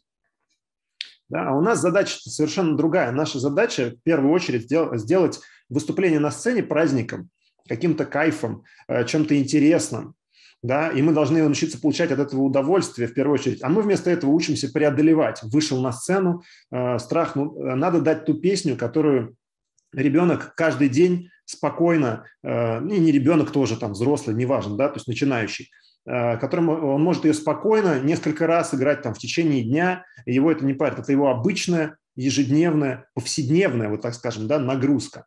Нельзя играть концерт, э, как я говорю, там, с божьими молитвами, э, дай бог дотяну до конца. А ре третий, ну, наверное, возьмется, если я посплю хорошо и попью воды побольше. То есть такие вещи нельзя делать. А, да, Петру надо идти. Я помню, да. Петь, спасибо тебе большое. Спасибо всем а, большое. Да, такие моменты, их э, ну, нельзя такое делать. То есть нужно обязательно смотреть конкретный ребенок, да, там, или конкретный ученик, у него есть свои какие-то там сильные и слабые стороны. Нужно сильные стороны показывать, э, слабые стороны прикрывать, но не надо выпихивать человека говорить на сцену и говорить, как-нибудь сыграешь, там вообще надо быть уверенным на сцене, что ты это подумаешь, налажаешь там это. Хотя вот эта тема по поводу подумаешь, налажаешь, может, налажаешь, может быть и хорошая. А, но, короче говоря, э, практика на сцене, как говорят тоже, да, больше выступай, например, да, кто-то, по-моему, написал даже там у Андрея в, в Инстаграме, я смотрел, кто-то написал, просто надо больше выступать. Больше выступать работает тогда, когда, ну, то есть оно, в принципе, работает, но оно не решает проблему. То есть ты можешь больше выступать, ты, может, перестанешь там э, в какой-то момент чуть больше волноваться, а потом у тебя будет провал, например, в концертной деятельности, ты опять выйдешь, опять будешь э, весь из себя нервничать там, да, э, и это, естественно, не решает проблему того, что технически там что-то ты не выигрываешь. То есть это такое, э, как бы, задалбывание, уже просто нервная система, ну, переживать ты не перестанешь. Нервная система, она уже такая просто, ну все, надоело мне, каждую неделю играем э, эти концерты, черт с ним, буду уважать. Да, там, то есть как бы уже не важно. Это, в принципе, тоже работает, но это, мне кажется, не совсем правильная история. Лучше, конечно, просто, в принципе, это волнение перевести в положительное русло, то есть волнение от того, что ты сейчас будешь выступать на сцене, люди будут тебя слушать, там, да, это интересно. Э, и а это волнение, это, наверное, больше фокус внимания. Своим ученикам, которые там, ребята, у которых там были проблемы с выступлениями, я всегда говорю, что, ребят, вам нужно фокусироваться. Мы можем в один момент времени фокусироваться только на одной вещи. Либо это страх того, что на меня смотрят, меня оценивают, я должен сыграть круто, а что, если я сыграю не круто? Либо мы перемещаем фокус внимания на то, что мы, собственно, делаем, как мы исполняем музыку, а, насколько, ну, да, то есть мы просто находимся в процессе. И вот этот момент в процессе, это то, что я э, два дня назад бы мог бы в этом вебинаре испортить, грубо говоря, да, то есть я мог бы все эти тексты, которые я написал, я бы их читал бы, и я бы не был бы в процессе, в моменте. Конечно, что-то я забуду, что-то не скажу, а, но если бы я начал читать, то я бы тоже что-то забыл, что-то не сказал, потому что банально, э, если я там говорю, что у меня на 100 часов, а у нас 2 часа вебинар, да, то есть я даже физически э, не смогу сказать все, что я там написал у себя. Э, поэтому нужно сфокусироваться на том, что происходит, и тогда очень многие ответы, они как бы они есть, они же у меня в голове есть. Я же знаю ответы на вопросы. Задайте мне вопрос, я отвечу. Я знаю, что ответить, потому что это я, я, у меня уже есть этот опыт, есть эти знания. Я не могу их Э, вдруг там они у меня куда-то вы, куда вылетят, да. И то же самое с выступлениями. Вы готовы ровно настолько, насколько вы готовы. Вы не можете быть готовы лучше вдруг, потому что это... Или вот опять же, да, повезет, сыграю хорошо. Ну, есть, конечно, элемент везения, там, да, повезет, сыграю, вот, там, чуть получше можно сыграть, чем там обычно, да, или чуть похуже, чем обычно. Это понятно, элемент везения есть. Но вот глобально, да, то есть бывает люди, там, дети выходят и вообще ничего сыграть не могут, у них ступор, все, да, то есть это момент, куда идет фокус. Фокус идет на то, что я стою перед жюри, у меня конкурс сейчас, мне нужно это. Но это, это причина, да, то есть мы боимся. А почему мы боимся? Потому что мы настолько, нам нужно сыграть почему-то правильно. А вопрос, кому нужно, зачем нужно? Музыкант – это человек, который выражает свои эмоции. Выражает свои эмоции, а не собирает, э, собирает э, оценки э, других людей, насколько он круто играет. Именно поэтому эм, очень многие люди не играют на, трубе, например, или на другом инструменте, не начинают вообще играть, потому что им говорят, ну, труба – это не твое, у тебя вот, как, например, сейчас с Сергеем поговорим, у тебя губа там какая-то не такая, да? Почему? Потому что, ну, раз не такая, что я буду? Я же не могу э, состязаться там с людьми, у которых губа такая. Но задать себе вопрос надо, а собственно говоря, во-первых, если преподаватель говорит, что что-то не то, значит, еще не факт, что это он один не знает, что с этим делать, да, может, он просто не знает, что с этим делать. Это первое.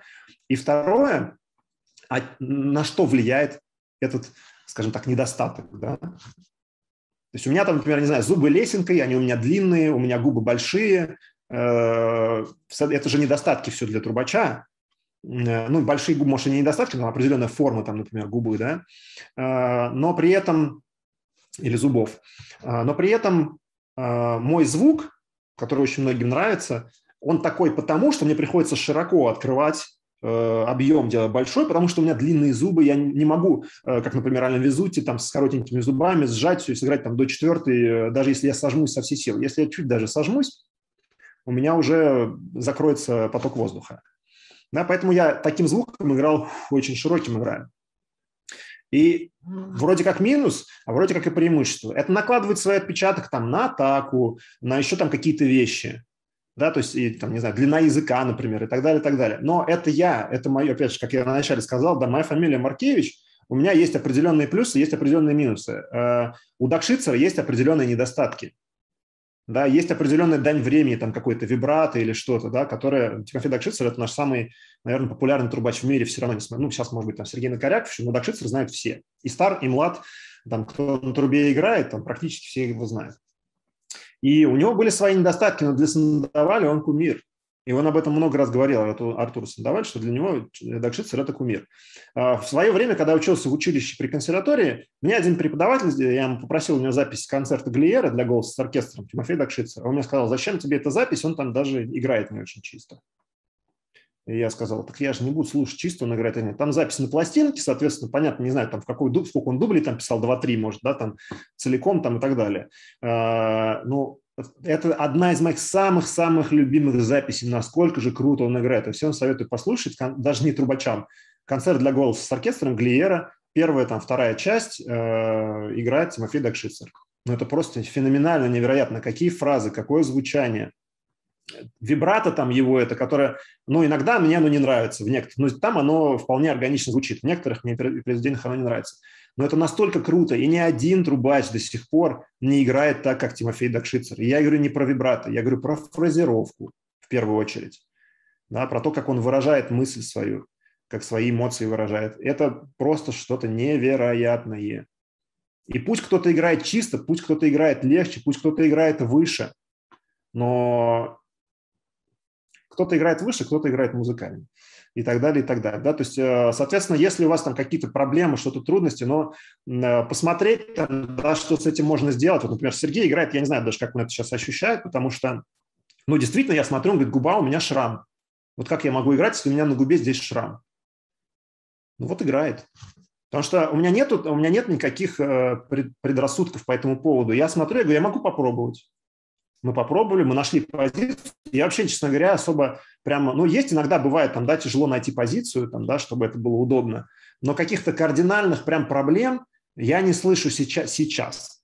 Да, сначала там был и шип, я тоже думал, а не знаю, получится, не получится, вот это тоже страх, да. Но, ребята, не узнаете, получится, не получится, пока не попробуете. И, кстати, достаточно долго будете пробовать, да, потому что попробовать надо не, не а что-то труба не мое, да, дайте любому делу, дайте там несколько месяцев хотя бы, поставьте себе там, я через, опять же, вот через полгода там хочу сыграть, не знаю, гамму в одну октаву на трубе.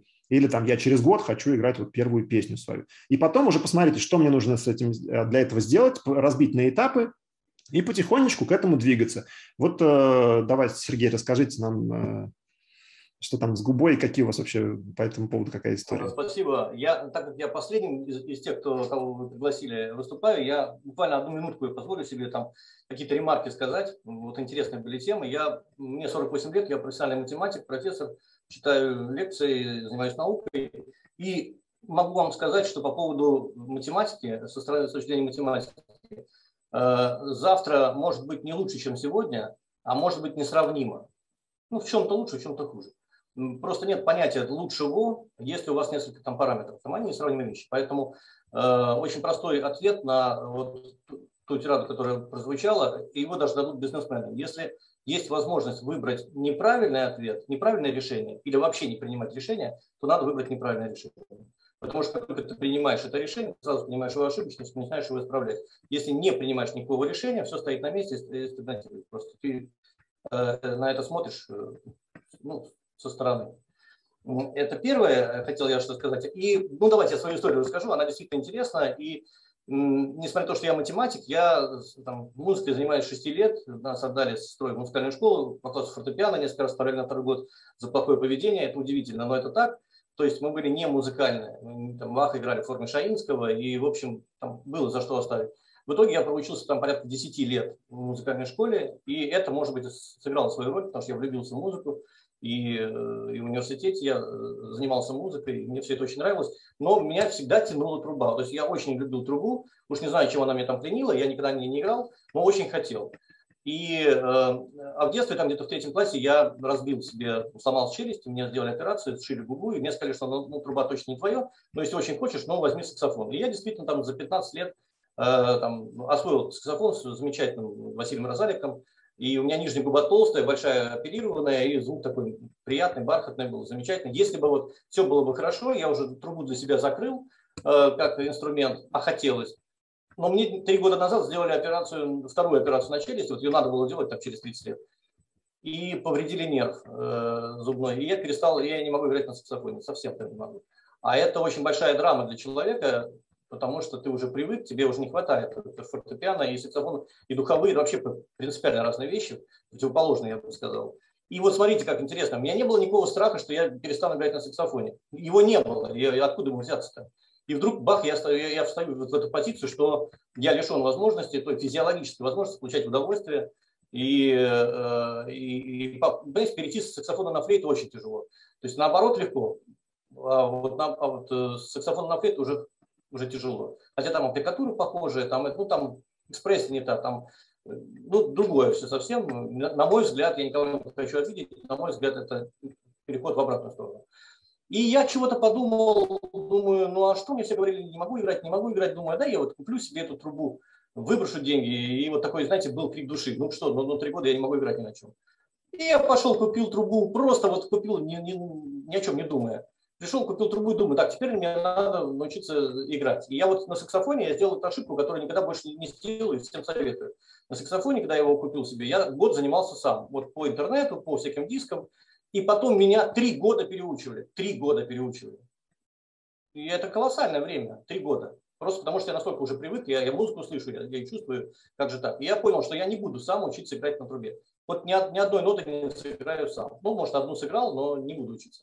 Я стал смотреть интернет и вот увидел Семена э, именно с моей же историей. Вот такая же история, что я не могу играть на трубе. У Семена была такая же история, что вдруг резко все оборвалось. И мне показалось, что он настолько преодолел себя, и это был настоящий подвиг профессиональный. Думаю, ну вот, если уж с ним не получится, ну тогда пойду на флейту. Вариантов больше не было. Так вот, выбор был такой. И я могу сейчас сказать, что и сомнения-то были. И сомнения были, когда мы начали заниматься, сомнения были, что а позволит ли губа, не позволит ли губа. Я даже ходил к ортодонтам, там делал какие-то капы себе, как вы знаете, у этих э, боксеров, э, посмотреть, там будет ли зажим, зажим, нет. Но когда звук пошел, ну все, у меня уже как бы сомнений никаких нет. Но здесь профессиональная публика собралась, и я, может быть, такое замечание скажу. Основной страх, вернее, даже не страх, а проблему – которая, но если ее услышат и кто-то в записи, там ребята, которые только учатся, то тоже имейте это в виду. Но профессионалам это будет понятнее. Есть, э, есть в обучении любому, особенно духовому инструменту, мне так кажется, просто я это прошел уже, есть некоторый баланс или дисбаланс между техникой и музыкальностью. Я сейчас поясню, о чем идет речь. Вот я когда я учился играть на саксофоне, то э, ну, я уже, ну, ну, представьте себе, с нуля вообще учился то человек не знает и музыки-то, чисто не слышит, и технически не может сделать. И поэтому все идет достаточно естественно и гармонично. Его немножко научили там, там три нотки играть, и он услышал эти звуки, потом он услышал больше звуков, четыре нотки сыграл, ну и вроде так все хорошо. А вот когда ты уже приходишь с, с пониманием музыки, то есть мне не надо объяснять, что такое гармония, там, я все это знаю, э, там, что такое драматургия звука, какие там обертона, все это понятно. И когда ты приходишь на трубу, ты ничего не можешь сыграть, у тебя техники ноль а музыкальности у тебя достаточно много. И вот начинается этот конфликт. То есть ты лезешь реализовать то, что ты хочешь, а я занимаюсь на трубе и на любом другом инструменте играю только для удовольствия. Абсолютно для удовольствия. Это вот, ну, мне не хватает жизни. Вот, э, музыки, без музыки мне будет тяжело. Вот. И здесь действительно конфликт очень жесткий, потому что преподаватель говорит, тебе не надо играть туда, тебе не надо играть это, ты сначала хоть что-то сыграй. И вот этот вот конфликт техник, вот конфликт техники, развития техники и музыки. Если человек переучивается или учится заново, или у него уже есть какой-то, то, то здесь надо как-то вот э, и, и ученику смириться с тем, что придется чем-то жертвовать в развитии другого, и преподавателю быть готовым, ну, Семен уже готов. Но в итоге я все-таки вашу позицию принял. И да, и здесь должно быть абсолютно доверие преподавателя. То есть, если ты выбираешь себе преподавателя, то надо доверять какое-то время, потому что, конечно, закон больших чисел никто не отменял, а закон малых чисел не работает. То есть все быстро не получится. И даже у меня вот эта губа со шрамом, э, я думаю, что и она меняется. Она, ну там же мышцы растут какие-то. И поначалу мне все было неудобно. Вообще непонятно, куда ставить, что там. Сейчас я вообще не понимаю, как, как можно другое место поставить. Там как ты ставишь и играешь. Вот э, это была первая проблема, которую я обратил на это внимание, конфликт техники и музыкальности. Ну, если так можно выразить. Это моментик маленький, немножко рематчик. Вы правильно заметили то, что ровно та же самая проблема не только у людей, которые, в принципе, начали с нуля, да, но и особенно у тех, кто играл когда-то, потом у него что-то сорвалось, не получается, и ему опять надо учиться. У него конфликт такой, что я же когда-то это все играл. Я должен сейчас тоже это играть. И если мне правильно все преподаватель сделает или я сам сделаю, то у меня тут же все сразу начнет так же играться. И вот тут как раз надо эту систему разбить на этапы, да, иначе у вас мотивация сразу провалится, вы будете все время только нервничать. вам переживать, что что-то не получится, какая-то тревога будет. Нужно разбить на этапы, и эти этапчики еще раз пройти. Вы пройдете их быстрее, потому что э, ну, вы уже что-то владеете все-таки инструментом. Вы пройдете этапы быстрее. То, что сейчас Сергей про себя, если говорит, да, конечно, он, у него есть определенные уже задатки, чтобы быстрее научиться играть на трубе, потому что он знает музыку, там, понимает э, ноты и так далее, и так далее. Но все равно надо э, физиологически, технологически все равно пройти все этапы. Да, да, и вот я еще хотел сказать, это тоже может прозвучать очень странно, особенно вот преподавателям, э, которые учатся играть на духовых. Я могу точно сказать, что если человек никогда не играл на духовых, то какое-то время, это может быть от, от полугода до года, э, ученик не будет понимать русский язык преподавателя. Вот прямо по-настоящему, просто вроде бы говорим на русском языке, вроде мне объясняют на русском языке, но ты не понимаешь, о чем идет речь. И дело здесь потому, что дело в том, что нет комплекса ощущений.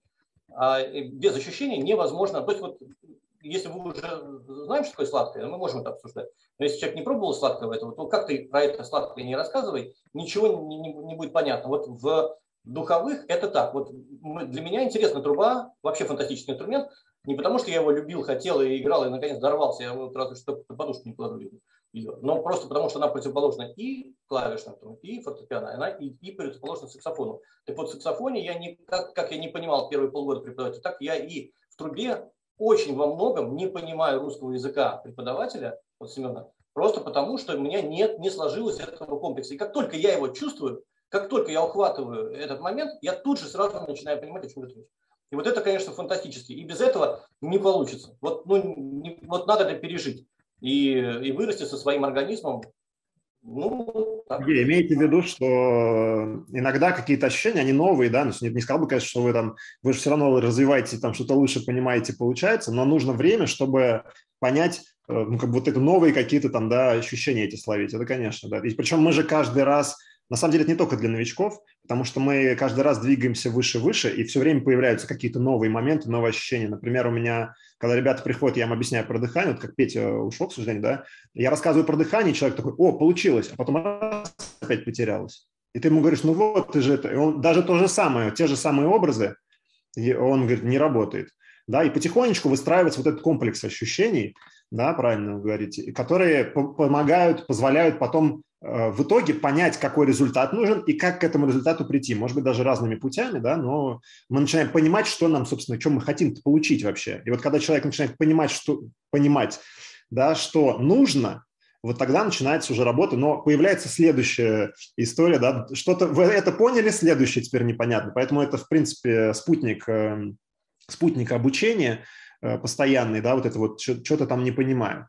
И наверное, вот надо, в общем, спокойно как раз в эту тему двигаться и понимать, что если мы что-то новое берем, то мы не понимаем. Это нормально. Потому новое. Еще один эпизод э, рассказать, обсудить.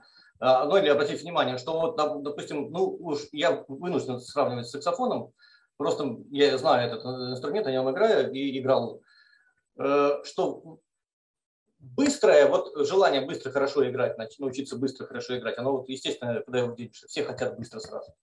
И в саксофоне есть такой, э, вообще во всех язычковых, есть такой, э, трос, э, две тросточки деревянных. Э, есть такой момент, что ты можешь купить, допустим, мундштук хороший, и у тебя резко сразу красивый звук пойдет.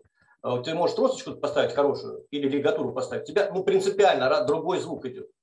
А в трубе это не так. В трубе принципиально, вот там на 30%, на 40% звук не пойдет от от того, что сменишь мундштук. И мне очень понравилось, когда вы сказали, что ну давай уберем, можно убрать шип другим мундштуком, но ты проблему загоняешь, ты ее не решаешь, а ты ее загоняешь. Вот во всех язычковых там есть такой момент, то есть быстро человек в иллюзию попадает, он не научился ничего делать, у него еще аппарат не стоит, он еще дыхание не берет, а у него уже красивый звук идет, он уже может там в подъезде играть, и там все соседи будут в восторге. Но это, но это обман, вот прям настоящий обман. И поэтому здесь мне очень понравилось, что мы не загоняем проблему, э, меняя мунштуки меняя там трубы, э, а вот выбрали, вот что выбрали, с тем, с тем мы работаем и пытаемся решить проблему за счет себя, за счет изменения себя. Потому что если мы э, поменяем муштук, то правильно, мы проблему не решим. У меня, собственно говоря, и у меня, и, по-моему, Петя тоже говорил, что у меня была такая история. То есть преподаватель первое, что сделал, когда понял, что у меня что-то не получается, он начал менять муштуки, инструменты. И э, надо научиться играть на стандартном, это вот когда э, у меня было видео там, как выбрать трубу для начинающих, да, нужно научиться играть на всем стандартном, и все остальное у вас будет играться. Вы потом будете выбирать удобнее, неудобнее, легче, чуть полегче там э, по, по звуку, да, потому что может быть полегче, по звуку хуже, или по атаке там, э, да, то есть это все надо смотреть. Но на стандартном оборудовании надо научиться играть. Это единственный критерий к выбору там инструмента для начинающего. Стандартное оборудование, все. Другие критерии, все они там от лукавого. Звук какой-то там думать, что там думать, какой звук. Да? Просто выберите себе инструмент простой, обычный. А, и по поводу преподавателя, наверное, я еще хотел, у нас сегодня была заявлена тема преподавателя, Сергей, вы, э, спасибо вам большое, на самом деле, с точки зрения математики, вот это очень классная мысль была, да, про то, что там когда-то оно Э, не может быть просто с точки зрения математики там лучше или хуже, да, может быть просто по-другому, да, да, и надо уже сделать и посмотреть, тогда вы увидите ошибки и сможете их исправить, если вдруг они есть, да, так это очень круто. Есть такой пример нетранзитивных игр, все их знают, знаете, когда, допустим, я не знаю.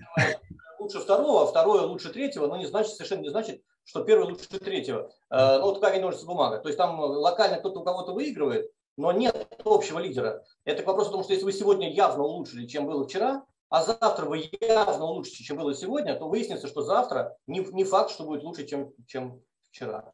Ну, если, если понятно объяснил. То есть это, это развитие совершенно не транзитивно идет. Лишь бы развитие было, либо появление нового. Это как раз я тоже люблю такие вещи. Иногда из другой совершенно области ты начинаешь понимать, что законы-то все равно одни и те же работают. Вот, поэтому это тоже заметку. По поводу преподавателя хотел еще поговорить. У нас сегодня заявлена тема из преподавателей. Потом мы, наверное, перейдем к вопросам. Пока про преподавателей. Эм, на мой взгляд, э, у нас немножко тоже эта тема очень именно нашего образования очень странная. Во-первых, у нас очень большой уровень ревности среди преподавателей. И Э, некоторые преподаватели там мне чуть ли не там писали и гневно и звонили, когда узнавали, что их ученики там ко мне приходят, да, или я сам очень сильно боялся, что мой преподаватель узнает о том, что я кому-то ходил, а он узнал, что я кому-то ходил, Э, вот. Я уж не знаю, поэтому ли я в консерваторию не поступил или нет, я не берусь там судить, я не знаю. Вот. Но, тем не менее, э, история была в том, что я тебя возьму, я тебя возьму, а потом просто перед самым, ну, вернее, перед самым, а на экзамене я просто узнал, что меня не берут, и для меня это было таким просто. То есть для меня это еще, помимо того, что в принципе был стресс, что у меня не получается, для меня еще было холодным душем, что меня вдруг не берут в консерваторию, я даже документы никуда не подавал больше. Вот. Ну, тем не менее. История была такая. Э, вот. И как выбрать, собственно, преподавателя?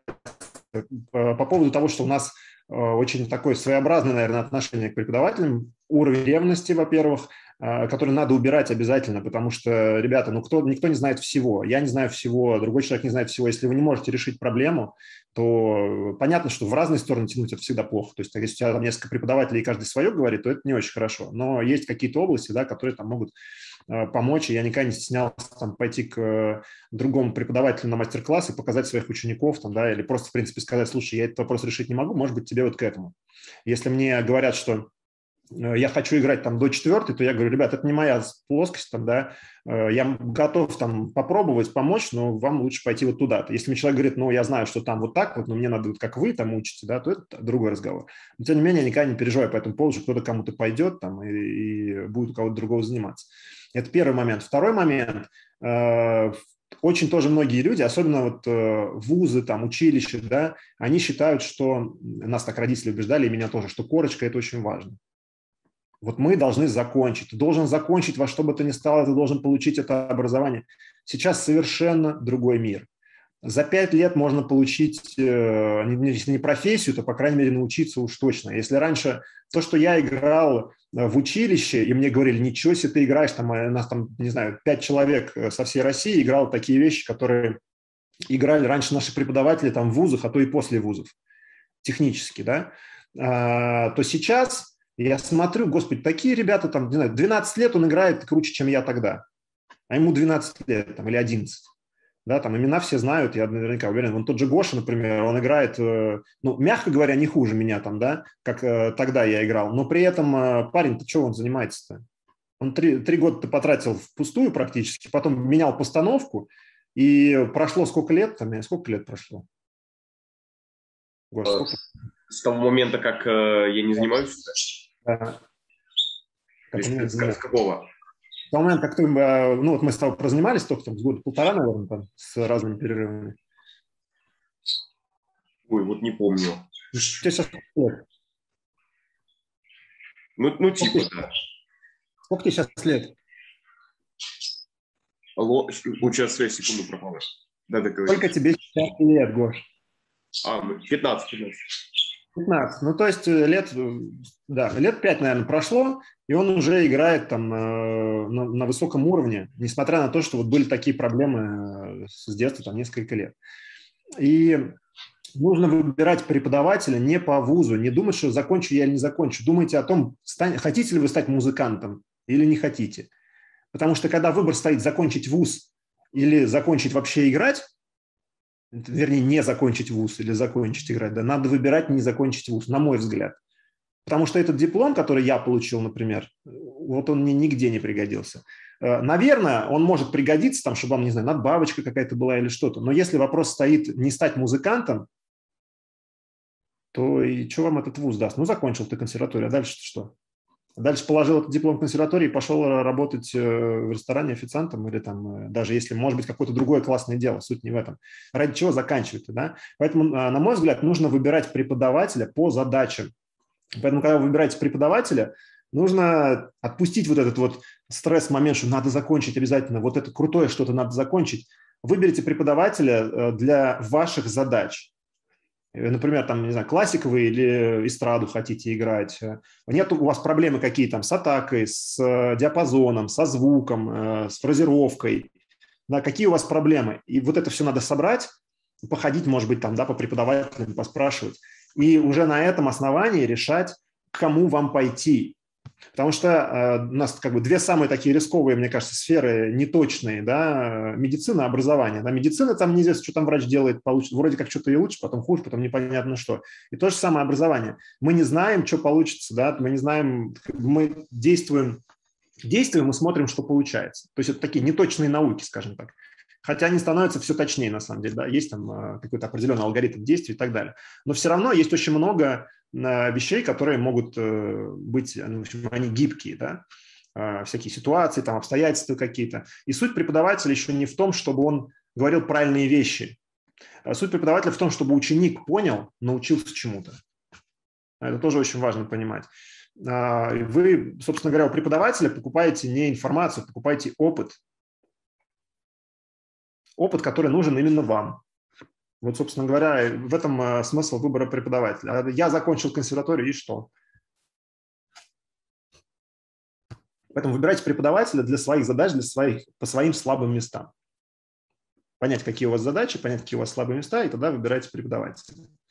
А, по поводу взаимодействия с преподавателем, тоже я уже сказал, да, что по поводу ревности, на мой взгляд, нужно для того, чтобы преподаватели у нас перестали ревностно к этому относиться, нужно ходить к другим преподавателям, говорить преподавателю, что я пойду, потому что мне хочется попробовать.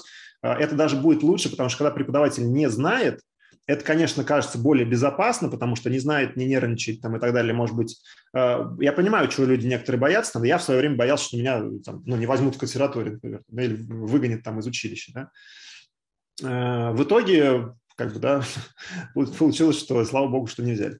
Вот. Но сама по себе история да, в том, что надо э, делиться, надо взаимодействовать. Потому что один преподаватель может знать одно, другой преподаватель может знать другое. И нужно развивать нашу общую там, музыкальную сферу, да, музыкальную деятельность.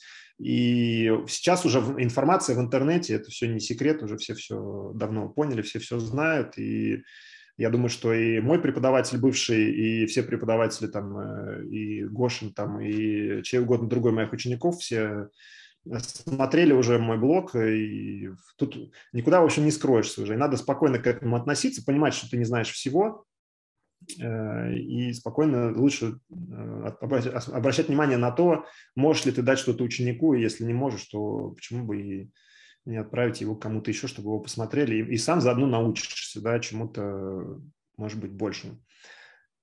Вот это что касается момента с преподавателями. Какие-то вопросы? Да, дорогие друзья, ждем ваши вопросы. Вопрос от Анатолия. Анатолий говорит, э, пишет про мотивацию ученика. Согласен ли э, Семен с э, точки зрения Анатолия? Анатолий, мне кажется, с точки зрения ученика важно в процессе обучения, чтобы преподаватель учил тем произведением, которое нравится ученику и соответствует его уровню техники. Тогда ученик видит результаты, и его мотивация подпитывается. Семен, согласен ли ты с этим? Что, что касается мотивации, да, что касается мотивации, на самом деле эта тема очень обширная, тоже я хотел на нее записать видео, потом два, потом три, потом пять, потом десять. А, самый важный момент про мотивацию, что вот эти все мотивашки в интернете, которые типа «он, смотрите, там сделал вот это», да, а, и вот типа вы должны преодолеть там и сделать и так же, это все не особо тоже работает. А, вот, по поводу того, что я именно мотивирую так большинство своих учеников, на самом деле. Когда ко мне приходит человек, я его спрашиваю, что ты хочешь получить, да, что тебе нравится, и абсолютно точно, у меня была история, с, я не знаю, смотрит ли мама там, э, ученица моей, э, «Отпусти и забудь», мы играли на трубе. Или с одним учеником э, тоже он не хотел особо заниматься. Я, правда, не знаю, что у него, как у него сейчас дела, потому что там такая ситуация была, что прям ребенок вот не хотел. Да, мы учили там песню из компьютерной игры. Я просто подобрал, и мы ей занимались. И тогда ребенок понимает, что... То есть тут важно понять, что Э, ребенок будет заниматься тем, что ему интересно, и он, может быть, будет заниматься тем, что ему неинтересно, но это не приведет в итоге к результату. Да? То есть надо найти, что ребенку интересно. Если это не музыка, то вообще спрашивается, что он там делает на этой музыке. Но, э, но можно попробовать э, дать ему разобраться с точки зрения того, что, смотри, ты можешь какие-то вещи из своей жизни, то, что тебе нравится, применить с помощью музыки. То есть, когда я ребенку сказал, говорю, слушай, ты можешь из компьютерной игры вот эту музыку на трубе играть, а представляешь, вообще никто в интернете э, не делал такого, чтобы компьютерную музыку на трубе сыграть. То есть, да, это такая история, когда он такой, что, так можно, что ли? Я говорю, ну, конечно, можно, ты же, ну, вот, ты играешь на трубе вот эти ноты, вот у тебя вот это получится, да, без проблем. Можно по, там, диапазон выше, ниже сделать, и вот играть. Поэтому я абсолютно двумя, тремя, десятью руками э, за то, чтобы ну, как бы ребенку давать то, что ему нравится. И, естественно, под, про уровень я уже сказал, да, что это очень важно, чтобы э, ученик чувствовал себя уверенно. Опять же, ребенок, не ребенок, неважно. Э, ученик чувствовал себя уверенно э, в том, что он исполняет на там, 99,9. Понятно, что надо идти по программе, э, хотя, собственно, кому надо, опять же, вопрос всегда у меня возникает. Э, лучше идти по программе и не научиться играть или забить на программу и стать музыкантом там, да, или, в итоге, да, или хотя бы просто э, получать удовольствие от игры на инструменте и не заморачиваться тем, что ты не выполнил какую-то там программу. Семен, а можно добавить буквально, хотя вопрос был вам, а не мне, и просто одна буквально маленькая короткая фраза. Если бы мне в музыкальной школе предложили бы на выбор играть Баха или не играть, а играть что-то другое, я Баха бы не выбрал. Ну тогда бы я не любил Баха к концу. Вот что здесь на поводу идти. Ну, в общем, это... Да, тут момент в том, что надо именно, чтобы это было... Когда, когда ребенку понравится инструмент, он сам потом может выбрать Бах ему играть или произведение, или там э, песню из мультика. Поэтому э, но если он научится играть песню из мультика, это позволит ему научиться играть на инструменте, он сможет выбрать потом. То есть преподаватель вообще нужен для того, чтобы создать э, ученику возможность играть то, что ученик хочет. То есть э, преподаватель или родители то же самое. Да? Родитель – это человек, который ребенку создает возможности делать то, что ребенку хочется, нравится, чтобы у него там получается, не получается. Там, да? Дальше не надо лезть вообще. Не надо ребенку говорить, что ему хорошо, что ему плохо. Не надо ученику говорить, что ему хорошо, что ему плохо с точки зрения исполнительства. Там, да? Если ученик хочет играть э, эм, не знаю, джаз, а я ему говорю сначала научить классику играть, потому что ему никогда эта классика не нужна будет. есть определенная там, да, классическая школа, она довольно там сильная с точки зрения аккуратности там и так далее. Но, может быть, он станет, не знаю, супер самым крутым там трубачом, который э, играет вот с атакой типа там вот с такой, я не знаю, да, любой э, абсолютно пример. То есть мы таким образом, когда мы ограничиваем человека, мы ему говорим, вот так неправильно, а вот так правильно. А именно люди, которые не знают, как правильно и как неправильно, они и делают, собственно говоря, новые какие-то вещи, потому что им, ну, как бы они не знают, что так нельзя. И зачем ему ставить этот блок? Учи, понятно, делай то, что ты считаешь нужным, там, да, говори, вот это надо сделать, чтобы ты вот это играл. Это нормально. Но если тебе ученик говорит, что мне это не надо, да, ну, как бы, если, если это шаг один к чему-то, то это другой разговор. Но если это просто твоя какая-то там приф, то зачем? Зачем получать классическое образование, чтобы играть джаз? Можно, но не обязательно. Хотя у меня вот получилось так, что я с классическим образованием в итоге играю там что-то такое джазовое, но оно как бы и не джазовое, потому что у меня классическое образование. Вот, собственно, можете посмотреть, э, как я играю, и каждый сам решит, нравится ему это или не нравится. Но надо понимать, что у меня классическое базовое образование, и потом у меня начались проблемы, и вот эта джазовая история там какая-то, да, помогла мне преодолеть все эти там э, больше 10 лет вот этого вот простоя в классической музыке, потому что я мог все равно играть на инструменте. И я играл то, что... Как у меня вот какие-то мои там, не знаю, вещи внутренние получались, вот так я и выражаю себя сейчас. Да. С Анатолием согласен, в общем, если коротко. Дорогие друзья, мы плавно движемся к завершению вебинара. Вопросов еще много, поэтому вкратце надо постараться ответить на все. А, итак, вопрос от Петра. Петр пишет, возможно, что он пропустил э, начало, вот, но все равно какие-то моменты, расскажите, пожалуйста, про методы эффективного преодоления сценического волнения э, перед выходом на сцену непосредственно. Сценическое волнение – это момент э, страхов того, что чаще всего страха того, что тебя кто-то оценит, что ты не готов. Либо что кто-то оценит, либо что ты не готов, либо и то, и то. Да? Для того, чтобы преодолеть страх того, что ты не готов, нужно быть готовым. И это то, о чем мы говорили, собственно, что нужно играть то, к чему ты готов. Это должна быть твоя повседневная нагрузка.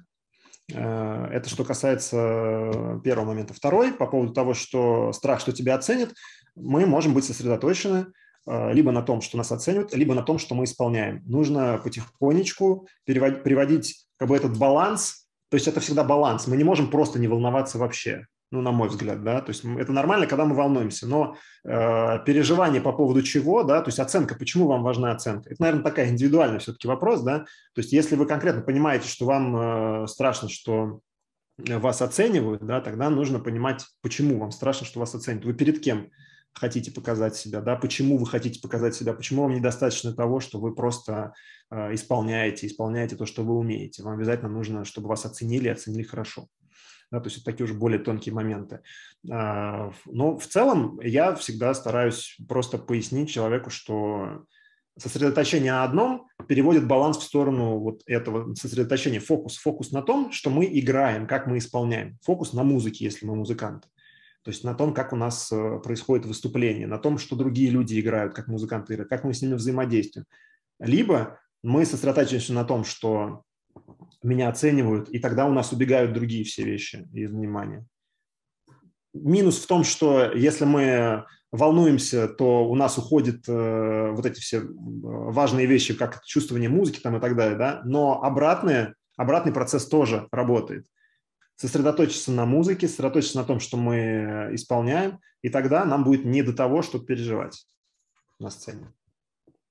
А, еще важный момент физиологический, кстати, э, э, обязательно восстановить свое дыхание. Перед тем, как мы выходим на сцену, да, подышать, трубачам может быть даже полегче, там какую-то длинную ноту потянуть, но обязательно обратить внимание на вдох и на выдох, они должны быть широкие открытые. Да, то есть мы, это вообще во многих вещах помогает, в принципе, с волнением. Кажется, все очень просто, но вот надо именно обратить внимание на то, чтобы вы сделали это свободно, комфортно. Несколько хороших глубоких вдохов – они э, убирают вот это волнение. А, следующий вопрос а, от Константина. А, если возникают при игре некоторые затычки, то есть э, если исполнитель берет дыхание и не может сразу взять ноту, это относится к психологии или это чисто технические моменты? На мой взгляд, это относится к психологии. У меня такие примеры тоже были. Вот э, тоже Юрий, который, к сожалению, не попал, он, э, у него тоже был такой момент. Он и сейчас немножко есть, но мы потихонечку его решаем. А, наверное, Самый такой простой момент – это как раз тоже вдох-выдох, во-первых, да, то есть вы вдыхаете, потом надо посмотреть технологически, э, что вы там готовите, может быть, да, какую-то позицию, и поэтому не вступаете. Это один вариант, да.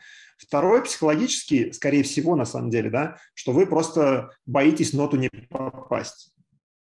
И вам нужно, наверное, последнее видео посмотреть, э, вот про тоже психологию в образовании я назвал, да, по-моему, в блоге, что когда человек боится, он зажимается, у него затыкается, зажимается и дыхание, и все. Потом он начинает свободно играть, и у него ноты начинают вылетать те, которые он думал, что у него вообще не берутся.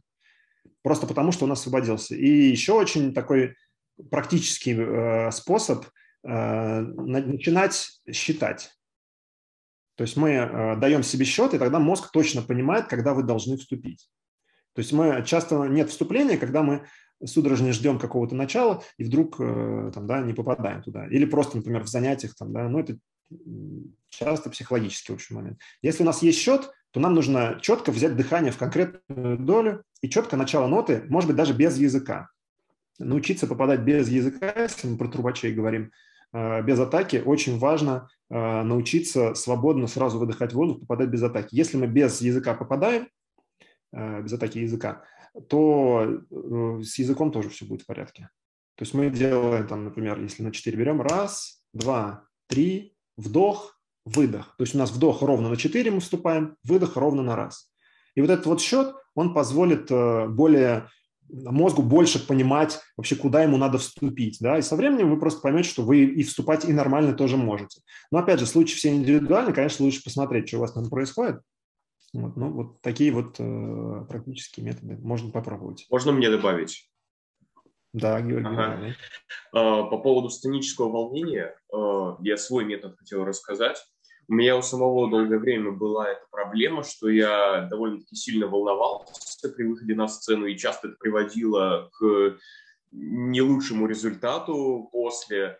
Э, ну, то есть ошибался много. В общем, не был доволен своим выступлением, но и в целом оно не было качественным. Я при ну, если соотнести усилия, которые я прикладывал для подготовки и что я получал, то получал я куда меньше. То есть далеко не в лучшем виде я играл на сцене. И относительно недавно э, мне один мой друг, коллега, тоже трубач, подсказал такой метод, что когда выступаешь там, на концерте, на конкурсе, запись делаешь, не думай о тексте ни в коем случае. Я как раз э, тогда делал какую-то запись, а, сельские картинки Баца я тогда записывал. Э, и что-то второй день уже записывал, не было никак хорошего дубля у меня. И внезапно он мне такой вот это подсказал, и у меня внезапно вот получился хороший дубль, наконец-то. Я перестал думать о тексте, думал только о музыке, о музыкальном содержании произведения. И это отвлекало меня от того, чтобы вот у меня сейчас там не получится такой-то Класс. Сейчас не получится, у меня там какой-то пассаж, а вот там через 8 тактов еще у меня э, может там тоже что-то не получиться. Вот я от этого отвлекся абсолютно и сразу начал намного спокойнее, увереннее и лучше играть. Ровно тот же самый момент, фокусировка на чем, да, мы фокусируемся на музыке, а не на том, что мы волнуемся. Да, Она, да отлично, здорово. Видишь, вот тоже работает. Спасибо. А, следующий вопрос от э, Дмитрия Кузнецова. Когда я слушаю трубу в чем-то исполнении дома, и меня музыка так заводит, что мне хочется играть в этот момент, я начинаю подыгрывать и э, часто играю те ноты или пассажи, которые обычно не могу. Вопрос, как это объяснить? Вроде бы э, базы-то еще нет, то есть техники правильной. А зачем это объяснять? А, то есть а, сама по себе история, да, в чем? Ну, получается, хорошо. Я а, несколько раз записывал треки, вот, которые у меня записаны уже. Я их включаю, и один раз мы хотели переписать с друзьями э, трек один, и там были пассажи, э, один я какой-то что-то сыграл, там что-то, как, как будто как чайки получилось какой-то. Ну, как я это могу специально сыграть? Я не могу сыграть специально, да? А, ну, то есть могу попробовать, но вот получилось как-то круто, да? А, можно, конечно, там потренироваться, позаниматься, но это будет сложно. Хотя в моменте оно получилось. И то же самое там была гамма такая не очень удобная, пассаж, который я, я реально пытался его в течение суток записать, у меня не получилось. Хотя, когда я предыдущий раз записывал, у меня он получился как-то сам, и это была импровизация. Вот. Поэтому это такой момент, когда голова свободна, когда она отвлечена от э, каких-то преград, она может выдавать такие вещи. И очень часто люди гораздо на больше готовы, чем они думают. Иногда ну, лучше не думать, и тогда получается больше. Вот, наверное, этим можно и объяснить, что вы просто отвлечены увлечены тем, что вы играете, и не, не думайте о своих ограничениях. Единственное, что эм, Тут тонкий такой тоже момент, конечно, если вы там начинающий, да, то что я не очень люблю, когда импровизируют э, начинающие или играют что-то, что уходит от, от э, заданной э, программы, потому что можно так не очень хорошие привычки тоже заработать, особенно на трубе, потому что мы не, если вот мы не готовы, то лучше туда и не лезть пока. Нужно сначала зафиксировать правильные привычки, а потом уже пробовать что-то, что вам не играть некомфортно, что-то новое. И Августина спрашивает про то, как с вами связаться по поводу индивидуальных уроков, как это происходит, куда писать. А, куда писать? Э, писать можно куда угодно. Можно в WhatsApp, можно в Skype. У меня контакты все там после каждого видео. У меня на YouTube есть влог, если э, э, кто не знает из присутствующих. Можно писать, ну, в YouTube сейчас нельзя писать. Там есть контакты все в конце, там есть мой номер телефона, на нем есть WhatsApp, Telegram, Skype, есть внизу под каждым видео. Вот, поэтому все контакты доступны. Нужно написать. Только единственное, что сейчас уже нужно, наверное... Я сейчас стараюсь немножко фильтровать э, эту историю, потому что очень много народу, и нужно... Я прошу присылать, если мы говорим про в общем, я прошу присылать, давайте сразу скажу туда, гамму, гамму ваш диапазон, там какие у вас трудности, э, гамму диапазон легата и позиционный легата тоже ваш диапазон, камеру на уровне лица, чтобы вот как, например, у меня сейчас там, да, вот так вот было видно с этой стороны, с этой стороны, чтобы можно было проанализировать немножко. Я смотрю, спрашиваю у человека, э, ну, Э, готов он, не готов, э, что ему нужно, что он хочет получить, потом смотрю, могу ли я это ему дать, или, по крайней мере, да, там, ну, в формате вот, понятно, что после там двух видео по 30 секунд особо многого не скажешь, вот, и потом мы, собственно, договариваемся. Ну и если у человека там ресурсы временные, чтобы мне временные, там, финансовые в том числе, да, подходит ли мне э, систематичность, с которой он там готов заниматься, могу ли я дать ему результат, исходя из э, того, того что он, э, какие у него есть ресурсы. Дорогие друзья, мы плавно движемся к завершению. Последний вопрос, который хочется задать. Какими качествами должен обладать педагог, э, чтобы с точки, ну, понятное дело, что мы говорим сегодня не про технику, да, а говорим про психологию, чтобы максимально не помешать ученику э, двигаться по пути? Ну, вопрос, конечно, такой тоже. Э, во-первых, для каждого свой преподаватель, как я уже сказал, там, да, то есть для кого-то это может быть там и Семен Маркевич, для кого-то это может быть э, Петр Иванович или кто угодно другой. А с точки зрения, что для меня, чтобы был хороший преподаватель, наверное, чувствовать, что нужно ученику, и, и понимать, может ли он это ему дать или не может. Э, вот, наверное, такие качества. То есть просто чуткость к запросам ученика. Спасибо большое, дорогие друзья. Это был Семен Маркевич. Мы сегодня говорили про психологию в музыкальном образовании, в музыкальном искусстве в целом. Говорили про э, работу на сцене, про работу с репертуаром, техническим материалом и как это все происходит на примере э, истории жизни учеников Семена. Большое спасибо э, вам за участие. Дорогие друзья, всем, кто был на вебинаре, кто будет смотреть эту запись. Э, до новых встреч. Может быть, какие-то э, напутствия для тех, кто будет нас э, смотреть и в записи сейчас. Семен, какие-то финальные слова, может быть? Напутствие. Спасибо всем, спасибо, что пришли. Это очень здорово, что то, что вы уже, в принципе, пришли, это значит то, что вы интересуетесь этой темой и продолжаете интересоваться. Это здорово, когда у людей есть энтузиазм, мотивация, да, про которую мы сегодня тоже говорили. И, кстати, был еще вопрос вынесен тоже, как научиться получать удовольствие а, от э, обучения там, да, или что-то такое. А, собственно говоря, ответ – это все, что мы сегодня обсуждали. Если у вас, э, если вы понимаете природу ваших страхов, если вы э, и понимаете, как, да, что, как с ними работать, что с ними сделать, если вы понимаете, что вы занимаетесь тем делом, которым вам хочется заниматься – то тогда, собственно, вы, вам, вам ничто не мешает начать получать удовольствие от музыки, потому что нет преград никаких для этого. Золотые слова. Семен Маркевич, Андрей Липатов, Ланот онлайн. До новых встреч, друзья. Всем пока, хорошего дня.